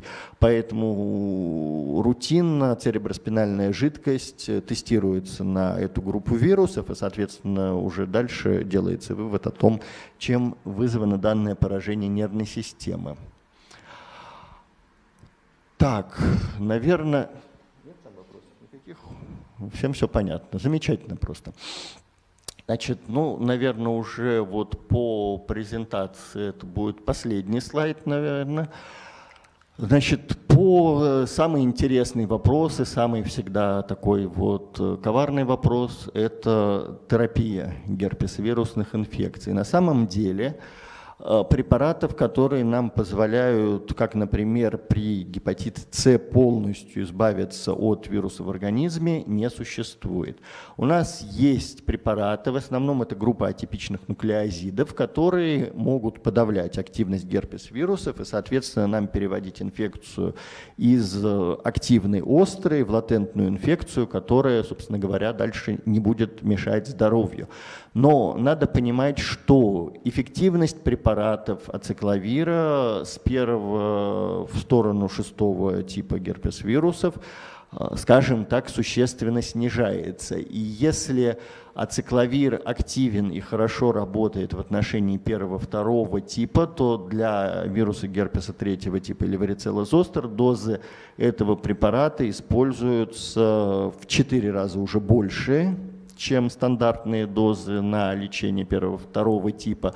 И, соответственно, в отношении вируса Эпштейна-Барр и цитомегаловируса э, этот препарат в принципе не активен. Там описана какая-то активность инвитро, но вам надо понимать, что активность инвитро, она не равна активности инвиво, поэтому, собственно говоря, ни в какие стандарты и международные рекомендации по лечению инфекции, вызванной вирусом Эпштейна-Барр или цитомегаловирусом, данные препараты, собственно говоря, и не входят. Ну, собственно говоря, у нас есть из, э, в отношении симплекса и варицелла зостера три препарата, ну, с различными коммерческими наименованиями. Да, это ацикловир и два препарата, которые являются пролекарствами, которые, э, скажем так, позволяют нам Э, существенно повысить комплаентность пациента и удобство применения этих препаратов, потому что все мы знаем, что ацикловир у нас используется 5 раз в сутки. И э, с точки зрения приема это довольно неудобно, то есть это каждые 4 часа с ночным перерывом 8 часов принимать препараты, иногда в высоких дозах. На ту же инфекцию, вызванную вирусом ветреной оспы, там надо принимать 800 э, миллиграмм, это 4 таблетки за раз, то есть это, понимаете, как какие объемы этого препарата, конечно, есть там более концентрированные, но тем не менее, значит, э, наука пошла в направлении создания так называемых пролекарств, препаратов, у которых немножко замедлено высвобождение, поэтому был синтезирован сначала вазоклавир, в виде оригинального препарата, а потом появление многочисленных генериков на рынке. И еще один препарат, который я тут не указал, это пенцикловир, ну и, собственно говоря, его пролекарство, это фомцикловир, ну, всем известный фамбир, который тоже можно использовать и в виде вот э, всем известных таких обрывающих схем на обострение первого или второго типа. Значит, ну и, собственно говоря, активность ацикловира и его аналогов, то есть валоцикловира и фамцикловира распространяется на первые три герпес-вируса, причем для варицеллозостер там дозы увеличиваются практически в четыре раза по сравнению с изначальными. В отношении вируса Эпштейна-Бар противовирусной терапии не разработано. Может быть, это будет впоследствии Нобелевская премия, но тем не менее на данный момент препаратов, которые эффективно работают в отношении этого вируса, нет. Различные препараты использовались, пробовались э, высокие дозы интерферона альфа инъекционного, но на самом деле эффективность этого практически так и не была получена. И это на самом деле большая проблема. Есть состояния, при которых необходимо лечить э, инфекцию, вызванную этим вирусом. Это в основном те же ситуации, связанные с онкогематологией, с трансплантацией и с тяжелыми инфекциями, оппортунистами у ВИЧ-инфицированных, но однако, к сожалению, лечить мы их не можем ничем. В отношении цитомегаловирусной инфекции у нас есть другая группа препаратов из э, тех же атипичных нуклеозидных. Это ганцикловир, который, я думаю, многим известен, особенно неонатологам, кто работает в виде фирменного э, оригинального препарата, это цимивен внутривенный. Э, препарат обладает высокой токсичностью, Поэтому для того, чтобы его назначить, нужны веские показания. То есть бессимптомная латентная инфекция или, например, врожденная инфекция, но малосимптомная, в принципе не требуют лечения данным препаратом. Обычно все-таки показания к назначению этого препарата – это тяжелая врожденная инфекция с поражением центральной нервной системы зрения, слуха, печени. И чаще всего э, по протоколам этот препарат, есть клинические рекомендации у нас по ведению цитомегаловирусной инфекции, как российские, так и зарубежные, используется в сочетании со специфическим иммуноглобулином, неоцитотектом, который, содерж... Э, который является высокодозным иммуноглобулином, содержащим, грубо говоря, иммуноглобулины G, к цитомегаловирусу. Но надо понимать, что как монотерапия нецитотект использование в принципе не совсем корректно, потому что это фактически как пассивная иммунизация. Опять же, если у нас есть высокий уровень антител класса G, зачем нам их еще добавлять? Поэтому, собственно говоря, эта схема направлена именно на лечение первичной активной инфекции а у ребенка, мать которая цитомегаловирусной инфекцией не болела, и антитела класса G ребенку не передала. Значит, э, опять же у нас есть пролекарство, я вот не помню, оно зарегистрировано сейчас на территории Российской Федерации или нет, я знаю, его возили контрабандой пациенты, это волганцикловир, это пероральный прием, он э, под торговыми названиями вальцит или валсайт, в принципе известен, он назначается перорально у пациентов э, с симптомной, с активной врожденной цитомегаловирусной инфекцией у детей. Он используется как продолжение противовирусной терапии. То есть вначале назначается внутривенный ганцикловир на срок в среднем 21 день, потом пациент переводится на пероральный прием волганцикловира уже на длительный срок до 6 месяцев, иногда до года, для того, чтобы как раз предупредить повреждение зрительного и слухового анализатора. Так, что-то я еще по этому поводу хотел сказать, забыл. Значит, да, ну и показ... А, и еще, соответственно, к, к этим двум препаратам существуют строгие показания. Это новорожденные с манифестной формой врожденной инфекции, это ВИЧ-инфицированные, у которых в основном проявление цитомегаловирусной инфекции – это специфический хориоретинит, и это, опять же, онкогематология, это иммуносупрессия, трансплантация костного мозга.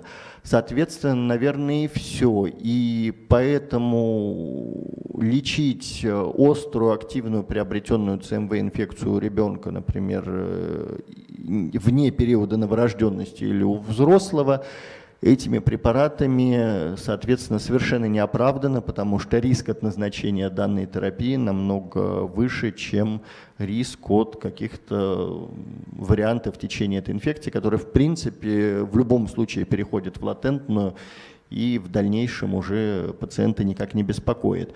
Ну, в отношении седьмого типа препаратов нет, в отношении шестого типа, опять же, существует за рубежом еще один противовирусный препарат фаскарнет, но, опять же, в России вы его не найдете. Есть еще цидофавир, которого тоже вы в России не найдете, поэтому, я думаю, про них можно и не говорить.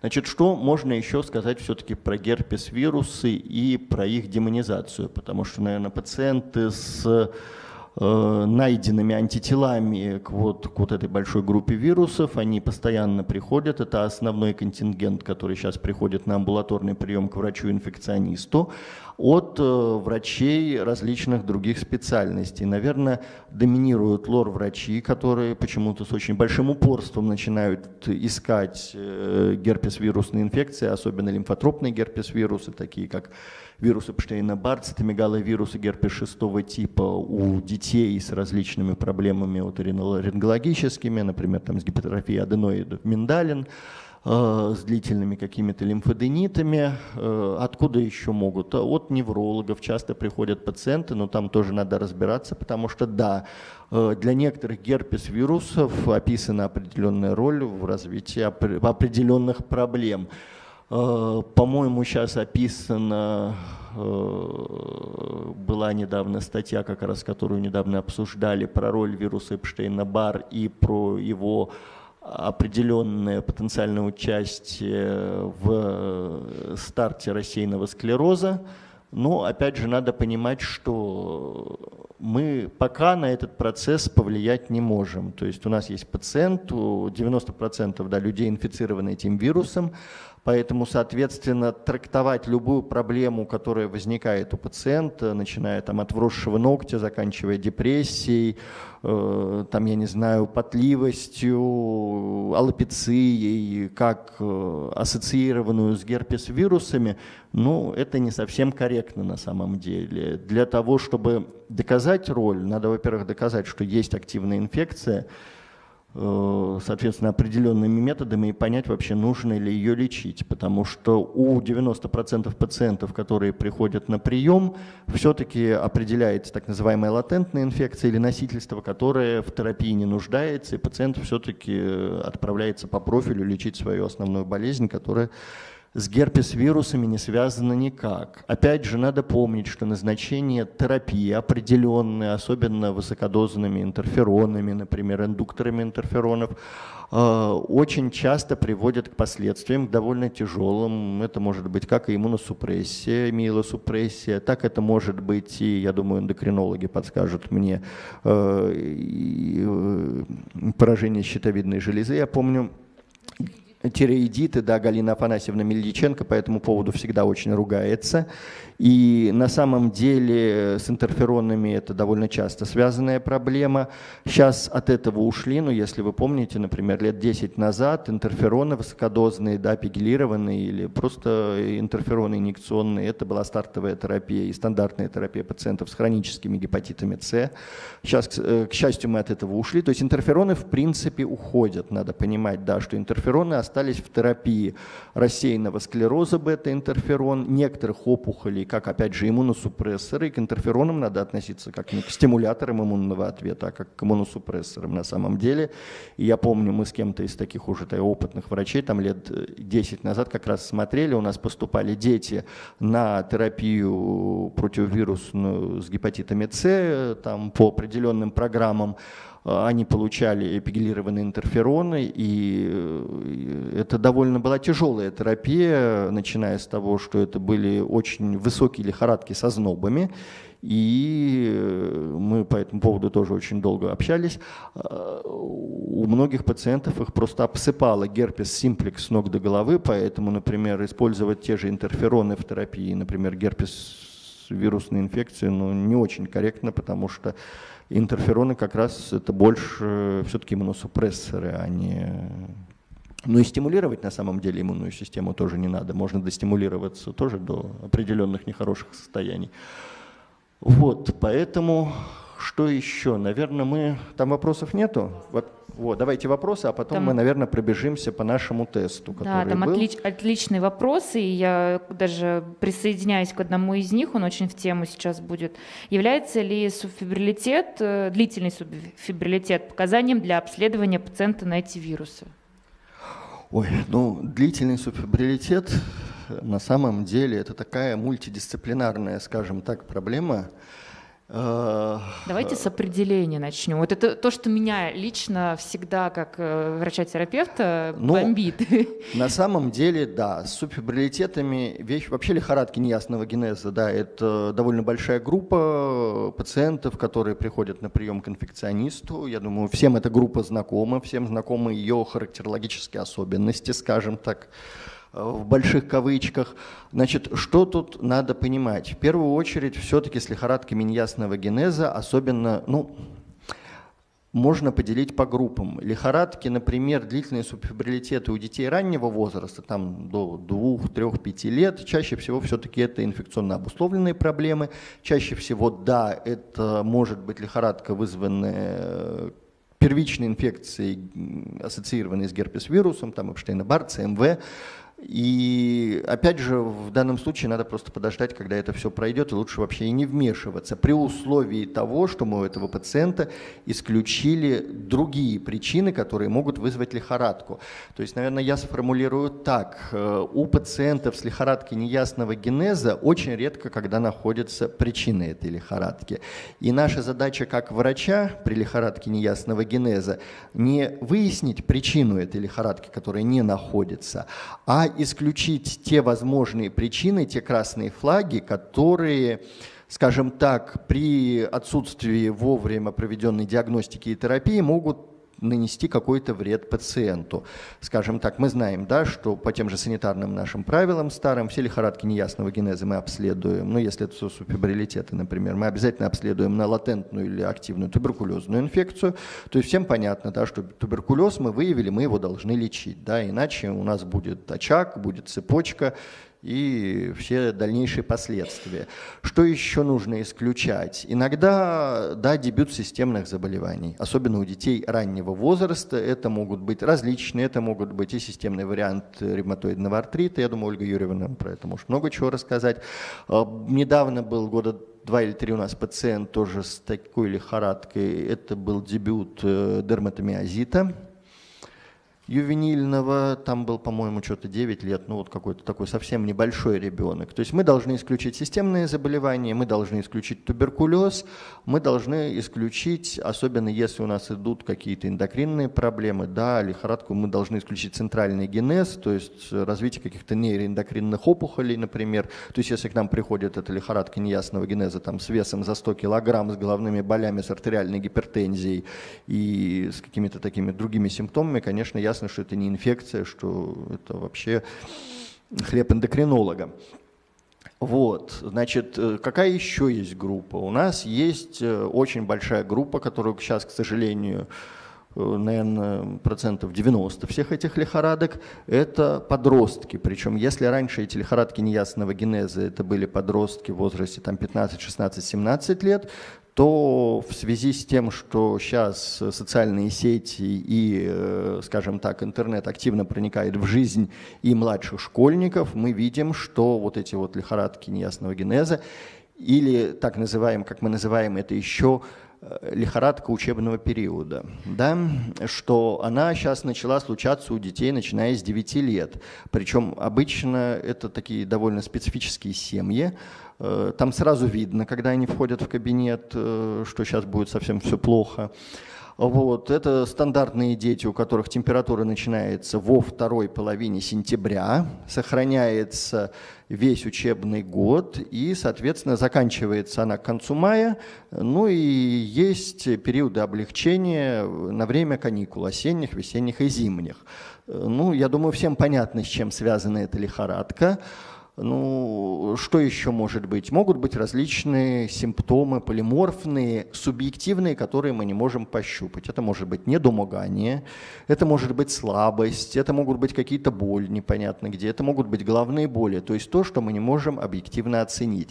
И на самом деле даже у себя в центре у нас есть определенный алгоритм обследования таких пациентов. И в первую очередь все-таки ставится вопрос об истинности данной лихорадки, то есть это стандартный дедовский метод, это контроль температуры в трех точках силами медицинского персонала.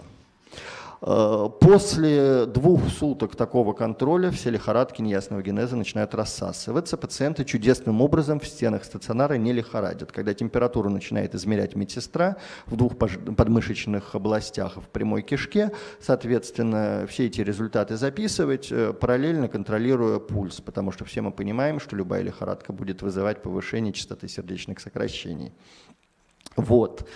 Наверное, про это хочется сказать. Ну и оставшиеся, наверное, 5-10% дальше, это уже такое крупное сито, где мы дальше уже начинаем какой-то диагностический поиск, тоже исключение системных каких-то проблем, аутоиммунных проблем, например, патологии щитовидной железы, которая тоже может давать какие-то лихорадочные состояния.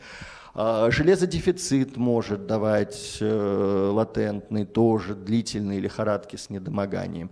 Вот. Ну и то, что касается взрослых, наверное, тут тоже, ну тут, конечно, такого количества вот этих вот артифициальных лихорадок меньше, конечно, хотя тоже есть люди, которые по, ну, греют, да, греют градусники, да, если вы откроете YouTube, вы можете найти 10 способов, да, там разные методы есть, э, съесть грифель от карандаша, выпить йод, натереть солью, там, что-то не, что только не греют. Ну, чаще там все-таки не на цифру взрослых, а там вот тоже какие-то симптомы полиморфные недомогания. Ну, Взрослые, да. Я чувствую. Вот дети, они приходят, они, видно, не могут контролировать, насколько они этот градусник греют, поэтому у детей все-таки бывает иногда там 40-42, и вдруг такие скачки, там то 36, то 42, и вот они пишут письма всем, и что никто им не помогает, все от них отказываются. Ну, там, там, конечно, определенный психологический климат в семье. И там, ну, всегда эти пациенты видны, вот они как входят в кабинет, сразу понятно, что можно прятаться под стол, да, что сейчас будет все очень тяжело, сейчас будет доставаться папка с файлами, где это все вот сложено по пачечкам, это будет мама и бабушка в шапке, ну вот уж стандартный, я думаю, пациент, который вот, да, к сожалению, там еще можно упомянуть, да, однополую семью, которая тоже является одним из факторов формирования лихорадок неясного генеза. Вот, поэтому, да, тут все обычно сложно и тяжело бывает. Есть категория, да, взрослых, которые с этим приходят, там надо разбираться, это могут быть как инфекции, так и не инфекции, так и железодефициты. Надо помнить, что у взрослых это может быть и соматизированное депрессивное расстройство, которое тоже может давать вот это вот недомогание. Опять же, красные флаги какие? Если у нас лихорадка имеет, например, определенную закономерность. С утра температуры нет, вечером есть, после засыпания нет. Ясно, что эта лихорадка не инфекционная. Инфекционная лихорадка после засыпания не будет снижаться. Опять же, есть так называемый аспириновый тест. Да, это, соответственно, прием, ну, аспириновый он в кавычках, да, ребенку мы даем парацетамол и бупрофен, смотрим, есть ли эффект на фоне приема. Опять же, что еще можно сказать? У большинства вот этих пациентов, которые приходят с жалобами на вот эти лихорадки, у них свой градусник. И начинается песня про то, что вот ваш градусник в больнице неправильный, а у нас свой градусник, который мы держим 10 минут, и вот у нас 37,1 на нем набегает. Ну, к счастью, я так понимаю, сейчас Россия подписала какое-то соглашение, по которому ртуть э, не будет использоваться, и, наконец, ртутные градусники исчезнут из продажи, но я думаю, что они там контрабанды где-то будут сохраняться там для особо любящих это все. Но, к счастью, ртутных, в стационаре уже ртутных градусников нет давно, из-за опасности э, загрязнения ртутью и парами, а по, соответственно, ну, в основном электронные все-таки градусники. Вот, поэтому процентов, наверное, на 90 у вот таких пациентов с лихорадками неясного генеза эти лихорадки носят неинфекционный характер, и чаще всего это, ну, пациенты видны все-таки, или это дебют какой-то системной патологии, это может быть как воспалительные болезни кишечника, так и волчанки, так и дерматомиозиты, но, опять же, надо смотреть сочетание, да, это могут быть различные лихорадки, связанные, например, с поражением гипоталамо-гипофизарной системы, там, теми же опухолями, когда действительно это будет происходит сочетание избыточного веса с головными болями, с артериальной гипертензией, соответственно, и с, опять же, с определенного рода лихорадкой. Поэтому, ну да, таких пациентов обследуют на герпес вируса, у них находят ДНК чего-нибудь в слюне, начинают лечить, и это вот все длится годами, но на самом деле это не приносит э, пользы пациенту, поэтому я думаю, что это все-таки такой тупиковый путь поиска. А на какую все-таки цифру ориентируемся? Ну, ну, то есть вот что мы... Э, вообще... Простите, для меня это болезненный момент, потому что всегда с пациентами в разговоре начинаешь э, определять, э, а, а что вообще, собственно, происходит. Потому что если мы обратимся к критериям лихорадки, Всемирная организация здравоохранения 37,8 нам постулирует, CDC 38,3, и причем это все же перевод в Цельсии и Фаренгейтов. Ну, это и, да. и, вот. Mm. и возникает вопрос, в общем, с субфибрилитетом-то мы что считаем? Больше 37, 37,8, ну, 37,5. Это очень такой момент скользкий. Ну, тут понять, что вообще называть и что как определять. На самом деле для многих людей лихорадка, даже не лихорадка, а температура до 37,5, это может быть их просто вариантом нормы. Так потому да. что Особенно у женщин, например, особенно во второй женщин, фазе менструального цикла, после еды. Да, связано с фазами цикла, с едой. То есть, по идее, надо раздеться, полежать, померить температуру, а не там подняться на десятый этаж, а потом ее померить. Надо же понимать, что температура тела, частота сердечных сокращений, частота дыханий, э, это артериальное давление, это не статические показатели. То есть мы можем вот сейчас, вот, например, я разговариваю, у меня может быть там 140 на 100, лягу я, у меня будет 100, там, 120 на 70. Это не значит, что у меня какое-то заболевание. Да? Может быть, у меня сейчас тоже 37,1, я просто ее никогда не мерил. Вот, поэтому тут вот э, на самом деле тревога у населения сейчас особенно с учетом всех новых эпидемиологических различных наших э, ситуаций в стране и в мире, люди и так тревожны, а вот э, на волне коронавирусной инфекции эта тревога возросла многократно. Поэтому, конечно, тревожных, индуцируемых очень много. И, к сожалению, у нас есть определенная недоработка психиатрической службы и стигматизация психиатрической службы. Люди боятся идти с тревогой психиатрам, потому что думают, что их сразу там на учет куда-то поставят, куда-то там справку дадут. Ну вот, вот так, наверное. С одной стороны стигматизация, с другой стороны модно. И тут такой перекос в том числе ну бывает. Ну вот модно, лучше пусть будет модно, да, лучше пусть да, ходят, согласна. и пусть лучше занимаются когнитивной терапией, и, и на самом деле от этого действительно есть польза, чем они э, годами там, например, интерфероны едят, а потом у них щитовидная железа там отваливается, отваливается да. да. Или, опять же, длительное использование различных иммунотропных препаратов, потом онкогематологи гематологи очень не любят эти лекарства. Потом, тоже. Ну и ревматологи онкологи тоже. Потом дебют какой-нибудь неведомой совершенно системной болезни, которая которая еще течь да. может очень своеобразно. Вопрос от э, гинекологов. Э, так как в приказе Минздрава нет обязательного обследования беременных на, цито, на цитомегаловируса токсоплазму, какие показания все-таки будут к обследованию беременной женщины э, на эти инфекции? Наверное, по поводу, я думаю, что все-таки какой-то эпидемиологический анамнез надо посмотреть. То есть раз вот я не читал, честно, я не успеваю. Я даже Санпин, который вот этот наш новый 3686, интересно, вот есть люди, которые прочитали полностью этот Санпин, потому что вот это вот 1054 страницы, вот этот кирпич, я, честно, дошел только до утилизации тел павших верблюдов при чуме, и дальше я уже стал пролистывать. Вот. Значит, по вопросу, чего бы я сказал такого интересного – Наверное, все-таки, если у, этого, у женщины дома есть кошки, или, например, она занимается, ну, любит, например, да, там что-то связанное с сырым мясом, она прямо там жить не может без стейков с кровью там, или карпаччо, я бы все-таки бы у этой женщины антитела бы к токсоплазме смотрел например. Вот так рутинно всем я тоже не вижу смысла это делать. По поводу цитомегаловируса я тоже не вижу смысла рутинно смотреть. Да, G есть практически у всех. Может быть, стоит смотреть, если, например, в семье есть маленькие дети надо понимать, что дети в возрасте, вот, вот эти тодлеры, так называемый детский сад, э, там 2, 3, 4 года, они как раз в этот период активно приобретают цитомегаловирусную инфекцию, и они являются ее активным разносчиком, соответственно, выделяя этот вирус со слюной и с другими различными выделениями. Поэтому, если вы откроете, опять же, всякие международные рекомендации, там будет написано, например, что женщинам, которые не инфицированы цитомегаловирусом и планируют беременность, стоит воздержаться от работы, например, вот в таких детских коллективах, нянечкой, воспитателем, там, например, каким-то педагогом, например. Вот. Может быть, таких женщин стоит тестировать на цитомегаловирус, э, чтобы действительно не пропустить вот эту первичную активную инфекцию. Например, или если у женщины во время беременности, особенно там, на как бы, первый, второй триместр, она переносит какую-то респираторную инфекцию, какую-то вот вялую, затяжную, с какими-то лимфоузлами непонятными, э, с, там, с какими-нибудь трансаминазами, какими-нибудь такими субпограничными, тогда действительно можно будет посмотреть, ну вот, чтобы не пропустить. Поэтому, опять же, всех тестировать я вот большого смысла не вижу, потому что все-таки давайте на симптомы ориентироваться. Спасибо. У меня тоже вопрос от гинеколога. Для нас это вообще очень больная тема. Так, а поэтому мы и сделали эту встречу, собственно говоря. А, первый вопрос. Я правильно услышала, может быть неправильно, что вы все-таки рекомендуете антитела МГ э, герпесом первого-второго типа смотреть всем беременным женщинам, и насколько это все-таки рационально, учитывая высокий процент серопозитивных людей. И можно сразу второй.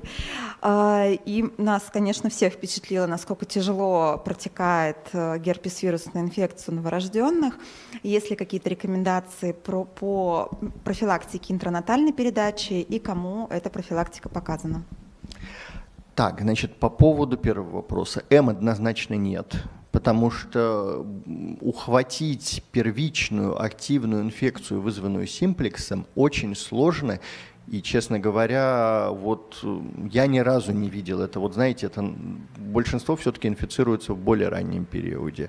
Насчет того, смотреть ли G, можно собрать анамнез. Если человек говорит, что у него периодически высыпания возникают, особенно, например, э, ну, на губах, понятно, это чаще первый тип, э, то, может быть, и смысла G смотреть нет, ну, потому что вы их получите. Ну, хорошо, они будут. Например, если, но, если, например, вот к вам приходит пара, и там, например, э, муж говорит, что да, вот у него часто бывает герпес, а жена говорит, а у меня не бывает герпеса, да, ну так, с точки зрения логики. Или, например, да, есть у кого вот генитальный герпес бывает у партнера, например, то, может быть, стоит все-таки посмотреть статус G действительно. То есть, если G есть, то расслабиться. Если G нет, то тут, соответственно, уже думать, чего мы будем делать. Например, э, очень же часто беременность это в принципе же иммуносупрессия. И, собственно говоря, вот эти эмки к краснухе, эмки к ЦМВ, вот эти вот надпороговые, они могут действительно говорить о какой-то реактивации, но, опять же, эта реактивация бессимптомная, она не опасна для плода развивающегося, потому что у нас есть трансплацентарный перенос старых материнских антител G. М через плаценту уже не проникают из-за размера, а G проникают. Вот, поэтому если у нас у плода есть сумма каких-то антител G, то у матери может быть, да, активная инфекция, ее реактивация, но у нас плод защищен. Вот, что еще по этому поводу у меня мысль была? По поводу тоже антител. По поводу, да, профилактики. Значит, очень часто, да, так как беременность все-таки у нас дает иммуносупрессию, очень много, но я думаю, все-таки вот гинекологам, наверное, больше, чаще рассказывают, э, так же, как и инсоляция, например, беременность очень часто во время беременности у женщины рецидивирует лабиальный герпес, высыпает. Но если это, опять же, не первичная инфекция, пусть он высыпает, ничего страшного в этом нету. Вот. Если высыпает генитальный герпес, то тут с этим сложнее, например. Активная инфекция генитальная – это повод подумать, какой у нас будет будет родоразрешение. Потому что инфицирование для герпеса второго типа, для симплекса как раз чаще это э, инфицирование в родах. Поэтому тогда надо, наверное, избегать прохождения через родовые пути, соответственно, тогда у нас оперативное будет родоразрешение. Это раз. Во-вторых, надо понимать, что, и я читал, по-моему, не помню, что читал я, UpToDate или Medscape, вот, что, а может вообще Мерк, который русскоязычный, допустимо использование препаратов атипичных нуклеозидов у беременных, если есть явная инфекция, например, если мы действительно думаем, что это первичная инфекция, то мы можем, в принципе, э, женщине назначить, или если у нас есть э, довольно выраж, с выраженными клиническими проявлениями реактивация, например, симплекса, особенно генитального, то мы можем дать противовирусную терапию, но может, конечно, вот этих вот, скажем так, вот этих болюсных, таких вот обрывающих схем не давать, когда там 4 таблетки за раз съедается, дать классическую схему, но мы, в принципе, имеем право нуклеозидами полечить беременную женщину, понимая, что, опять же, ацикловир – это один из, это безопасный препарат, с высоким профилем безопасности, и он входит в большинство протоколов по лечению инфекции у новорожденных. И если у нас, например, новорожденность непонятная какая-то, вот когда действительно он,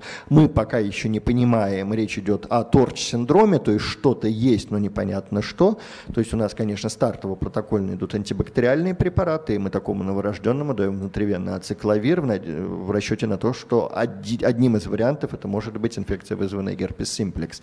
Поэтому, соответственно, бояться этих препаратов не надо, от них там ничего не отваливается сильно. Я не говорю про ганцикловир, для которого есть строгие показания. Но ацикловир, в принципе, мы назначать можем, и если есть показания, почему нет?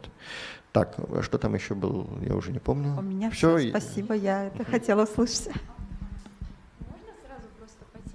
Здравствуйте, врач-уролог, тоже в Лахта-клинике работаю, Филимона Ванна. У меня вопрос по парам, которые планируют беременность, например, у мужчины генитальный герпес, и если его посадить на супрессивную терапию, ну, допустим, да, в течение шести месяцев, чтобы избежать рецидивов острой инфекции во время, когда уже женщина будет беременна, да, чтобы вот, например, женщине период беременности не передать вот эту острую. Но это, в принципе, логично, если женщина не инфицирована, не имеет, а партнер имеет, и него активно периодически высыпает, то, конечно, я думаю, что ему можно назначить и супрессивную терапию, и ему надо активно лечить обострение, потому что есть люди, которые считают, что мы можем только местно чем-то намазать, а, вот, поэтому я, я думаю, почему нет, это логично все. Спасибо большое. У нас еще из чата э, интересные вопросы, кстати говоря. Валентин Сергеевич, подскажите, пожалуйста, в офтальмологии встречаются увиты неясные этиологии, иногда бывает подозрение на вирусную этиологию заболевания. Как можно это проверить? Встречались ли вы в своей практике с высокой защитой? Не, не очень знаю, что имеет в виду автор, но в общем, было ли у вас такое и могут ли увиты быть э, в контексте нашей темы? Ну, насколько я понимаю, что увид или иридоциклит – это, в принципе, такое заболевание, которое э, лечит э, офтальмолог на стыке с врачом-ревматологом, потому что очень часто это или проявление системной патологии раз – то есть очень часто увиты ассоциированы с различными формами э, артритов хронических, да, там как ювенильного ревматоидного, так и других форм. Вот, поэтому, собственно говоря, ревматологи всегда работают в связке с окулистами, окулисты всегда смотрят детей с ревмопроблемами, ну, потому что идет поражение как суставов, так и глаз. Э, увиты могут быть, да, неясные, скорее всего, все-таки там смешанные будут. То есть там нет четкой вирусной этиологии. И вот думать о том, что вот мы сейчас полечим противовирусными препаратами и у нас все пройдет, я думаю, нет. Э, у окулистов больше проблемы как раз тяжелые бывают э, кератиты герпес-вирусной этиологии. Вот там они требуют терапии как местной, так и системной различными препаратами. Но это довольно узкая, узкая область офтальмологическая. Вот. У ВИИТа я бы смотрел все-таки как вот такие вот именно постинфекционные реактивные состояния, которые, может быть, будут требовать э, какой-то иммуносупрессивной терапии, но не противовирусной, если, опять же, и э, диагностику, опять же, надо смотреть, потому mm-hmm. что антитела, и это не всегда критерий. Mm-hmm. И вот как раз э, в продолжении вопрос про кератиты. При рецидивирующем герпетическом кератите используются такие же схемы противорецидивной терапии от склавир для длительно. Ну, то есть, очевидно, та же самая супрессивная терапия рассматривается. Вы знаете, в этой области я, честно говоря, сильно много не смотрел. Все-таки это больше удел окулистов, но я думаю, что, наверное, да, вот, что кроме ацикловира у нас все равно других вариантов нет терапии, если там доказана ассоциация именно с симплексом или со вторым типом, ну, длительный прием, чтобы подавить репликацию вируса. Но, опять же, там есть препараты, которые используются местно. Угу. Имеет ли смысл этиотропно лечить второе и последующее обострение герпеса первого и вторых типов, легкие формы? А это зависит от того, какая форма и насколько она легкая. То есть если оно один раз случилось, потом обострилось, у вас прошло без противовирусной терапии, ну и, и хорошо, и пусть так будет. Э, цель терапии какая? Максимально отсрочить следующее обострение и, соответственно, облегчить течение данного обострения. Опять же, надо понимать, что если знаем, что у нас там, например, мы куда-нибудь в Альпы съездили, да, там и на фоне этого жесткого ультрафиолета начинает сыпать герпес, да, в первые часы можно съесть, да, тогда действительно процесс прервется. Но опять же надо понимать, что и по срокам тоже, э, на поздних сроках э, терапия уже будет малоэффективна. Сколько Обычно... обострений в год э, может быть показанием, допустим, лабиальный герпес или слизистые? Сколько обострений в год могут быть основанием для назначения супрессивной терапии?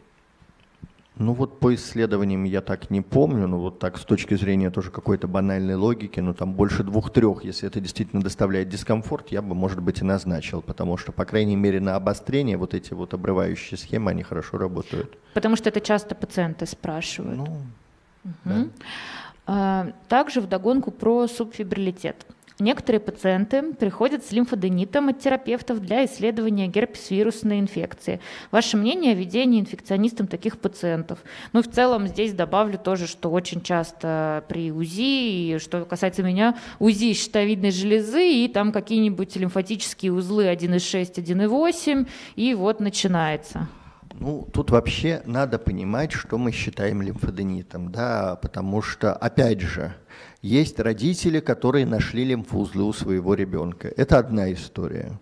Как-то худенький ребенок не так повернул голову, увидели, ой, какой ужас. На самом деле, ну, обычные лимфоузлы у всех такие есть. Вот. Э, есть лимфоузлы, которые будут существовать в норме. То есть передние, задние шейные, подмышечные, паховые, э, подчелюстные, они будут. Вот. Если вы видите какие-то лимфоузлы как раз других локализаций, тут надо подумать, с чем это связано. Например, ну, затылочные лимфоузлы могут быть у маленьких детей на фоне вот первичной инфекции, вызванной герпесом шестого типа. Много заушных лимфоузлов, ну тоже там повод подумать, что это такое. Вот. Есть лимфоузлы, которые однозначно не должны быть, и если они вылезают, то это, конечно, уже повод искать какое-то нехорошее зло. Вот. Опять же, насколько увеличены эти лимфоузлы? Если часто приходит ребенок, у него там шейный лимфоденит длительный, вот они пришли к инфекционисту искать инфекцию, ребенок открывает рот, там хоть святых выноси, там просто пульпит на пульпите, все сгнило и провалилось. Ну, надо понимать, что такое лимфоденит, да, что такое лимфоденопатия. Это реакция, это барьер на пути распространения инфекции. Если у нас есть какой-то где-то очаг, соответственно, у нас будет лимфоденит. У пациентов, например, с тяжелым кожным процессом, с атопическим дерматитом, особенно когда он осложняется каким-то вторичным нагноением, у них всегда будут увеличены лимфоузлы. Если там какое-то есть локальное местное повреждение, какой-то дерматит, опять же, это будет реагировать лимфоузлами в этой области. Поэтому ну, тут надо смотреть, что за лимфоденит. Опять же, в помощь может прийти нам ультразвуковая диагностика, врач ультразвуковой диагностики, он описывает, какие лимфоузлы, какой они формы, потому что от формы много чего зависит. Опять же, скажем так, зло там сразу видно, там они другой формы, они другой плотности, там другое кровоснабжение идет, поэтому, собственно говоря, вот от этого зависит. И, наверное, при лимфоаденопатиях, опять же, как при субфибрилитетах, наша задача не понять, чем это вызвано. Это же же может быть просто какая-то длительная банальная вирусная инфекция. Но тот же аденовирус может дать там 3-4 волны в течение месяца с лихорадками, с э, увеличением лимфоузлов, там аденоидной ткани, миндалин и прочего. Но вот, э, все, потерял мысль, про что я говорил. Можно я тогда uh-huh. волну? Uh-huh. На самом деле очень часто ситуация бывает следующая. Ребенка вырвало, заболел живот, э, диарея, а, родители бегут делать УЗИ, обнаруживается мезодонит, потом говорят, обязательно повторите УЗИ через месяц. Они повторяют через месяц, там опять мезодонит, а потом еще мезодонит. И вот с этими мезодонитами тоже в том числе очень много проблем у педиатра, потому что бывает очень сложно убедить родителей, что просто надо перестать ходить э, Ну, тут, да, вот, вот, мысль При вспомнил. Просто жалобы-то тоже э, функциональная диспепсия у детей, это очень частая ситуация, и они ну, Вообще рецидивирующие боли в животе, да, с какими-то да. эпизодами слабости, это бывает. Значит, опять же, тут вопрос о красных флагах, например, да, например, и о том, что как при субфибрилитете наша задача не понять причину увеличения лимфоузлов, потому что она не всегда будет понятно, а исключить как раз то, что может быть опасно. Опять же, если вы откроете санитарные правила, лимфоденопатию у подростков, повод искать что? Туберкулезную инфекцию лимфоузлов. Поэтому пациенты, которые приходят с длительно увеличенными лимфоузлами, они идут выполнять или там кожные тесты, там реакцию ТР или игротесты, например, и дальше их уже трактовать и смотреть, что у них творится. Вот, поэтому, опять же, исключить какие-то нехорошие образования, да, ну, в помощь, опять же, ультразвуковая диагностика, опять же, генерализованное это или локальное увеличение лимфоузлов, ли какая-нибудь цитопения в анализе крови, это, опять же, все будет видно. Вот, наверное, в первую очередь это. Я думаю, что как раз ну, герпес-вирусные инфекции могут давать увеличение лимфоузлов, да, вот эти все подострые течения первичной инфекции. Но это не страшно. То есть нам наша главная задача убедиться, что это не туберкулез, который нам будет ходить и свои эти палки Коха распространять, вот, что это не какое-нибудь злокачественное новообразование или какая-нибудь лимфопролиферация, которая потом впоследствии потребует довольно серьезной помощи. Вот. Э, иногда, про что еще надо помнить с лимфоузлами? Э, мы как-то тут в командировках тоже находили. Есть, да, специфические инфекции, которые дают увеличение лимфоузлов. Не знаю, вот, может, кто-то видел, есть такая очень интересная болезнь, это бартонеллез, да, болезнь кошачьей царапины. Там огромный лимфоузел, обычно в подмышечной области, ну вот с размером с хорошее перепелиное яйцо, иногда и больше, действительно. Это пугает, но это такая вот, да, первичная инфекция, вызванная бартонеллой, которую, ну, можно полечить антибиотиком, хотя написано, что она и сама может пройти. Ну вот, э, я думаю, токсоплазма может давать э, стойкий длительный лимфоденит, э, первичная инфекция. Но опять же, токсоплазменная инфекция у людей с нормальным иммунным статусом в терапии не нуждается. То есть опять же наблюдение. Еще вопрос по поводу сыпи при э, паровирусной инфекции. А, находила в литературе, что в последующем вот ребенок поболел своей красивой ажурной сыпью, и потом, когда он заболевает а, любой вирусной инфекцией, то а, эта инфекция тоже может сохраняться, сопровождаться различными высыпаниями. Есть такое? Вот или... нет, честно говоря, такого я не видел, может быть, что-то и описано, но на самом деле сыпи у детей очень много разных бывает, поэтому я видел очень много интересных ассоциаций, когда идет микс паровые энтеровирусы, например, сыпи может быть совершенно разные, то есть паровирусная, вот эта вот типичная инфекционная эритема с вот этой кружевной сыпью и красными щеками, это один из вариантов течения инфекции, точно так же, как всем известная энтеровирусная инфекция по типу да, синдром рука-нога-рот, это один лишь лишь вариант. То есть это не значит, что вирус Коксаки вызывает только эту инфекцию. Он может вызывать другие сыпи совершенно различные. Они могут быть и э, энтеровирусы это вообще в принципе великие такие мимы, которые могут э, иногда и на менингококковую инфекцию сыпь похожа, иногда она похожа и на коревую, поэтому есть довольно четкие такие типичные варианты сыпи, а бывает, что очень сложно. Думаешь, вроде и на это похоже, и на это. Ну, тут уже... И по поводу все-таки парных сывороток. Мы не должны, например, при э, подозрении там, на Эпштейн-Бар вирусную инфекцию даже скорее на цитомегаловирусную, там иммуноглобулин G брать в парных сыворотках? Нет, Эпштейн-Бар точно нет, потому что у нас другие критерии диагноза. На цитомегаловирусную инфекцию, в принципе, например, нарастание титра больше, чем в 4 раза в парных сыворотках, более диагностически значимо, чем находка иммуноглобулинов М. Потому что, опять же, эти иммуноглобулины М иногда бывает, ну, везде в литературе написано, что на них вообще нельзя ориентироваться, и они, в принципе, не нужны для диагностики. А через две недели, да, минимально? Ну, в среднем, да, 14 дней нарастание титра, то же самое все. Поэтому Спасибо. это гораздо более важно с точки зрения диагностики. Ну, я думаю, что про лабиальный герпес мы уже достаточно много говорили, про рецидивирующие герпес-вирусные инфекции. Стоит ли награждать беременную женщину с IgM на краснуху, на иммуноблот без признаков э, острой инфекции привитую? А что мы там увидим? Направлять? Да, да, да. А, что мы ну, там... награждать, в смысле, ну, ну, нет, я понял вопрос. Э, скорее можно посмотреть, а зачем она задавала вопрос ИГМ? Из-за своей тревожности. Если там высокий уровень титров иммуноглобулина G, если она привита, и уж в крайнем случае можно посмотреть овидность антител, и если она была привита давно, то не имеет смысла, тем более, по-моему, иммуноблота к э, иммуноглобулинам М нету. Есть, по-моему, иммуноблот G, насколько я помню. Ну, не буду врать, это надо смотреть, конкретный тест системы. Угу. Тактика ведения мононуклеоза, вызванного вирусом Эпштейна-Бар у детей? Спрашивает Елена.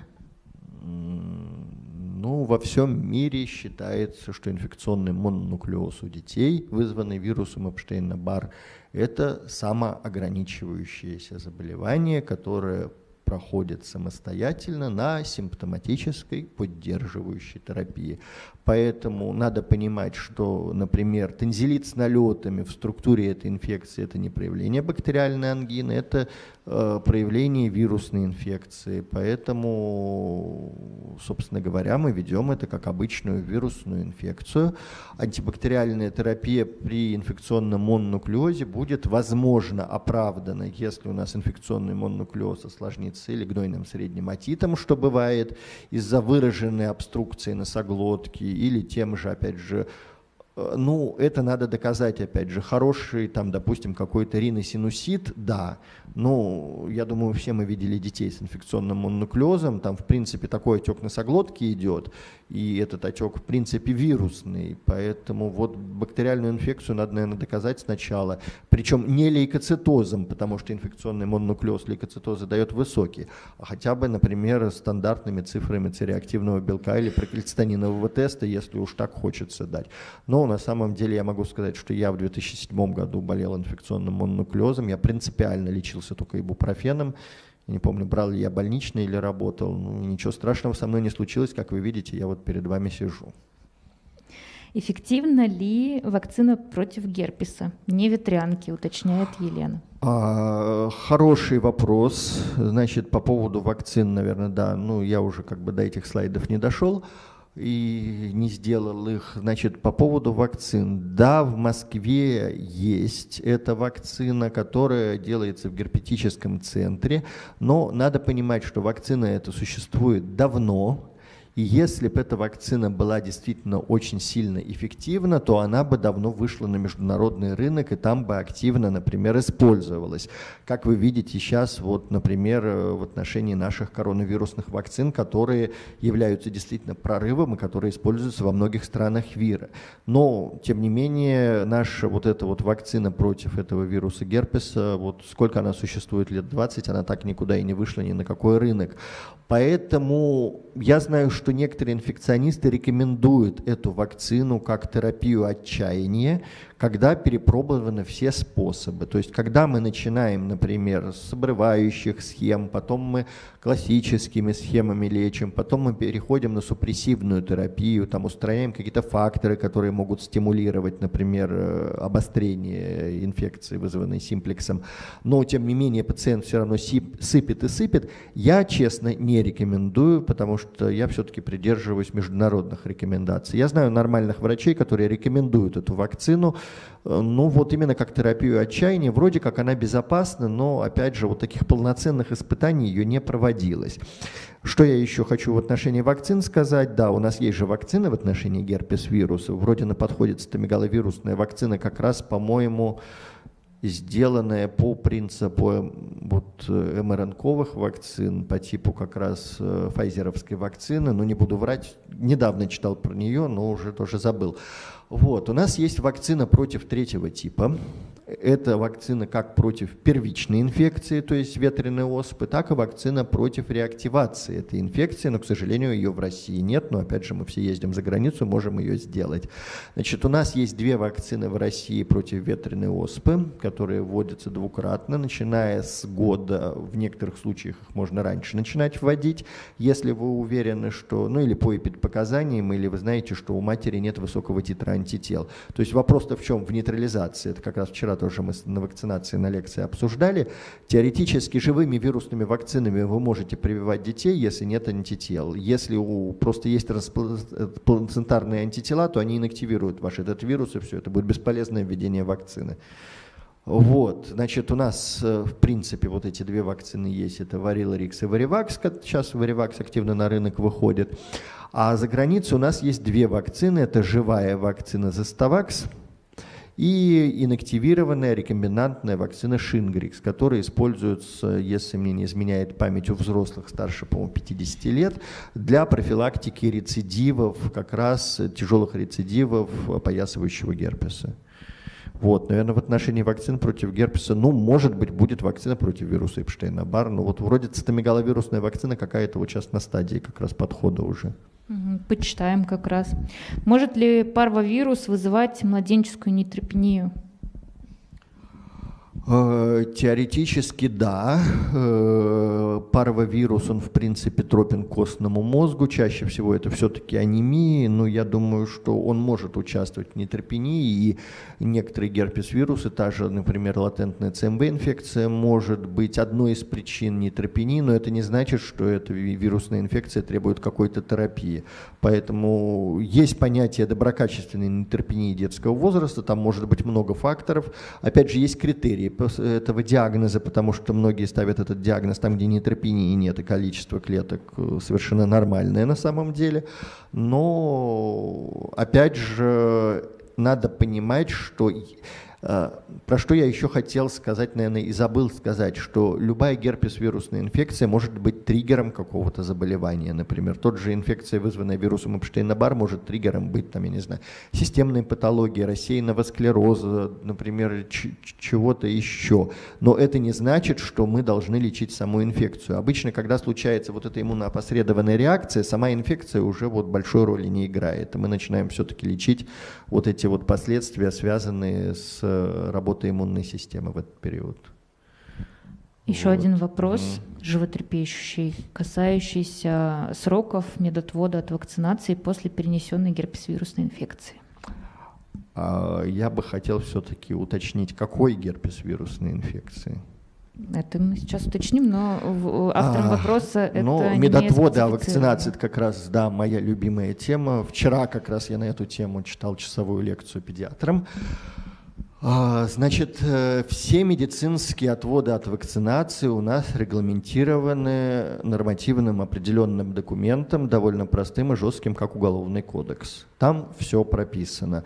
Номер этого документа у меня есть, если кому надо, могу показать, но я его наизусть не помню, я только Санпин выучил. Вот. Значит, медотводы от вакцинации, э, они, во-первых, даются на определенный срок – во-вторых, они даются с указанием, от чего мы отводим. От живых вакцин, от неживых вакцин, от каких конкретно живых вакцин. И надо понимать, что медотводы от вакцинации, там две группы да, состояний. Это те состояния, при которых вакцина действительно может повысить риск какого-то неблагоприятного события. Это раз, это порядка 5% всех медотводов от вакцинации.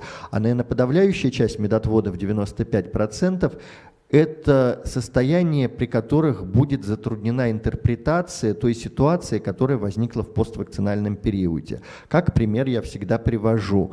Э, у ребенка после перенесенного гнойного менингита или тяжелого поражения нервной системы инфекционного, ну, например, там энцефалита, энцефаломиелита, там полирадикулонейропатии, медотвод от вакцинации дается на наиболее большой срок. Самый большой срок медотвода – это 6 месяцев. Медотводов на больший срок не бывает, что бы ни говорили узкие специалисты. Обращаемся к тому документу, который у нас простой, как Уголовный кодекс. Вот, соответственно, почему после перенесенного гнойного менингита дается медотвод на 6 месяцев? Не потому, что введение вакцины в этот период как-то неблагоприятно скажется на ребенке, и у ребенка там отвалятся ноги, руки, там голова и что-то прочее. Потому что, к сожалению, перенесенная тяжелая нейроинфекция, она дает отдаленные резидуальные последствия. Например, тот же гемофильный менингит, он э, часто дает э, э, в таком вот позднем резидуальном периоде развитие эпилепсии, например, гидро гидроцефалии окклюзионной, каких-то различных вариантов других энцефалопатий.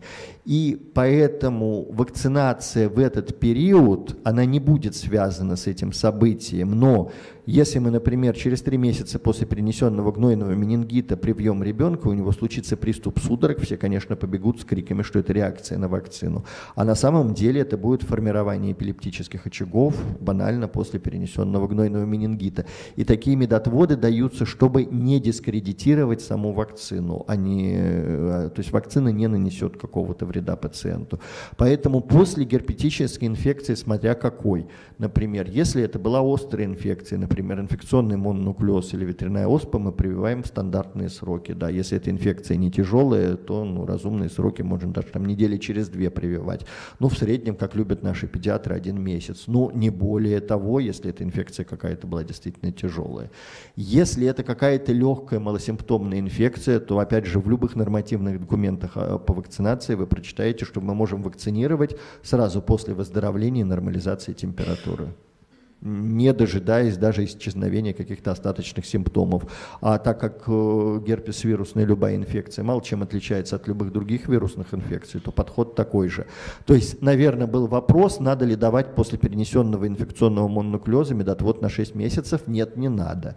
Значит, являются ли сохраняющиеся титры антител класса иммуноглобулина М к вирусу Эпштейна Бар медотводом от вакцинации? Нет, не является. Является ли обнаружение ДНК цитомегаловируса, вируса Эпштейна-Бар, вируса герпеса шестого типа после перенесенной инфекции в течение определенных длительных каких-то сроков медотводом. Нет, не является. Напоминаю, что почему-то ни у кого не возникает вопрос с вакцинацией ВИЧ-инфицированных пациентов. Мы их, наоборот, прививаем по более, скажем так, усиленным схемам. Почему тогда э, возникает такой священный трепет э, по поводу обнаружения вот ДНК цитомегаловируса в крови? Ну да, ребенок перенес, это будет длительно сохраняться. Это не является медотводом от вакцинации. И на этой прекрасной ноте я предлагаю завершать сегодняшнюю встречу. Вопросов много. Это значит, что нам впредь надо еще встречаться и обсуждать эту животрепещущую, очень важную тему. И я в очередной раз хочу сказать огромное спасибо э, вам, да, наш прекрасный встану. лектор. да, Валентин Сергеевич. Это Какого? было про отвод от вакцинации. А, а вы можете сослаться на свой инстаграм? Туда вы... Да, я... А там спрашивают этот... Да, да, Мы... Э, вывешу сегодня в сторис, если не забуду. Спасибо огромное. Э, правда, пора делать целый обучающий классный курс с вами в качестве лектора, потому что вы просто прекрасный спикер. Спасибо огромное. Вот, за нашу встречу. И я еще раз хочу напомнить, что сегодня мы провели нашу встречу в прекрасных стенах э, фонда «Антон тут рядом». А, вы можете найти в начале нашей встречи QR-код, а, по которому вы можете пожертвование какое-то а, оказать фонду помощь, если вы посчитаете это нужным и важным. И также я в очередной раз хочу сказать огромное спасибо Первому медицинскому каналу, который нас сегодня снимает, позволяет нашим врачам, которые нас смотрят онлайн, получать тоже своевременно нужные знания. Спасибо вам за ваше участие и поддержку нашего проекта «Док-то-док». Всем спасибо, до свидания.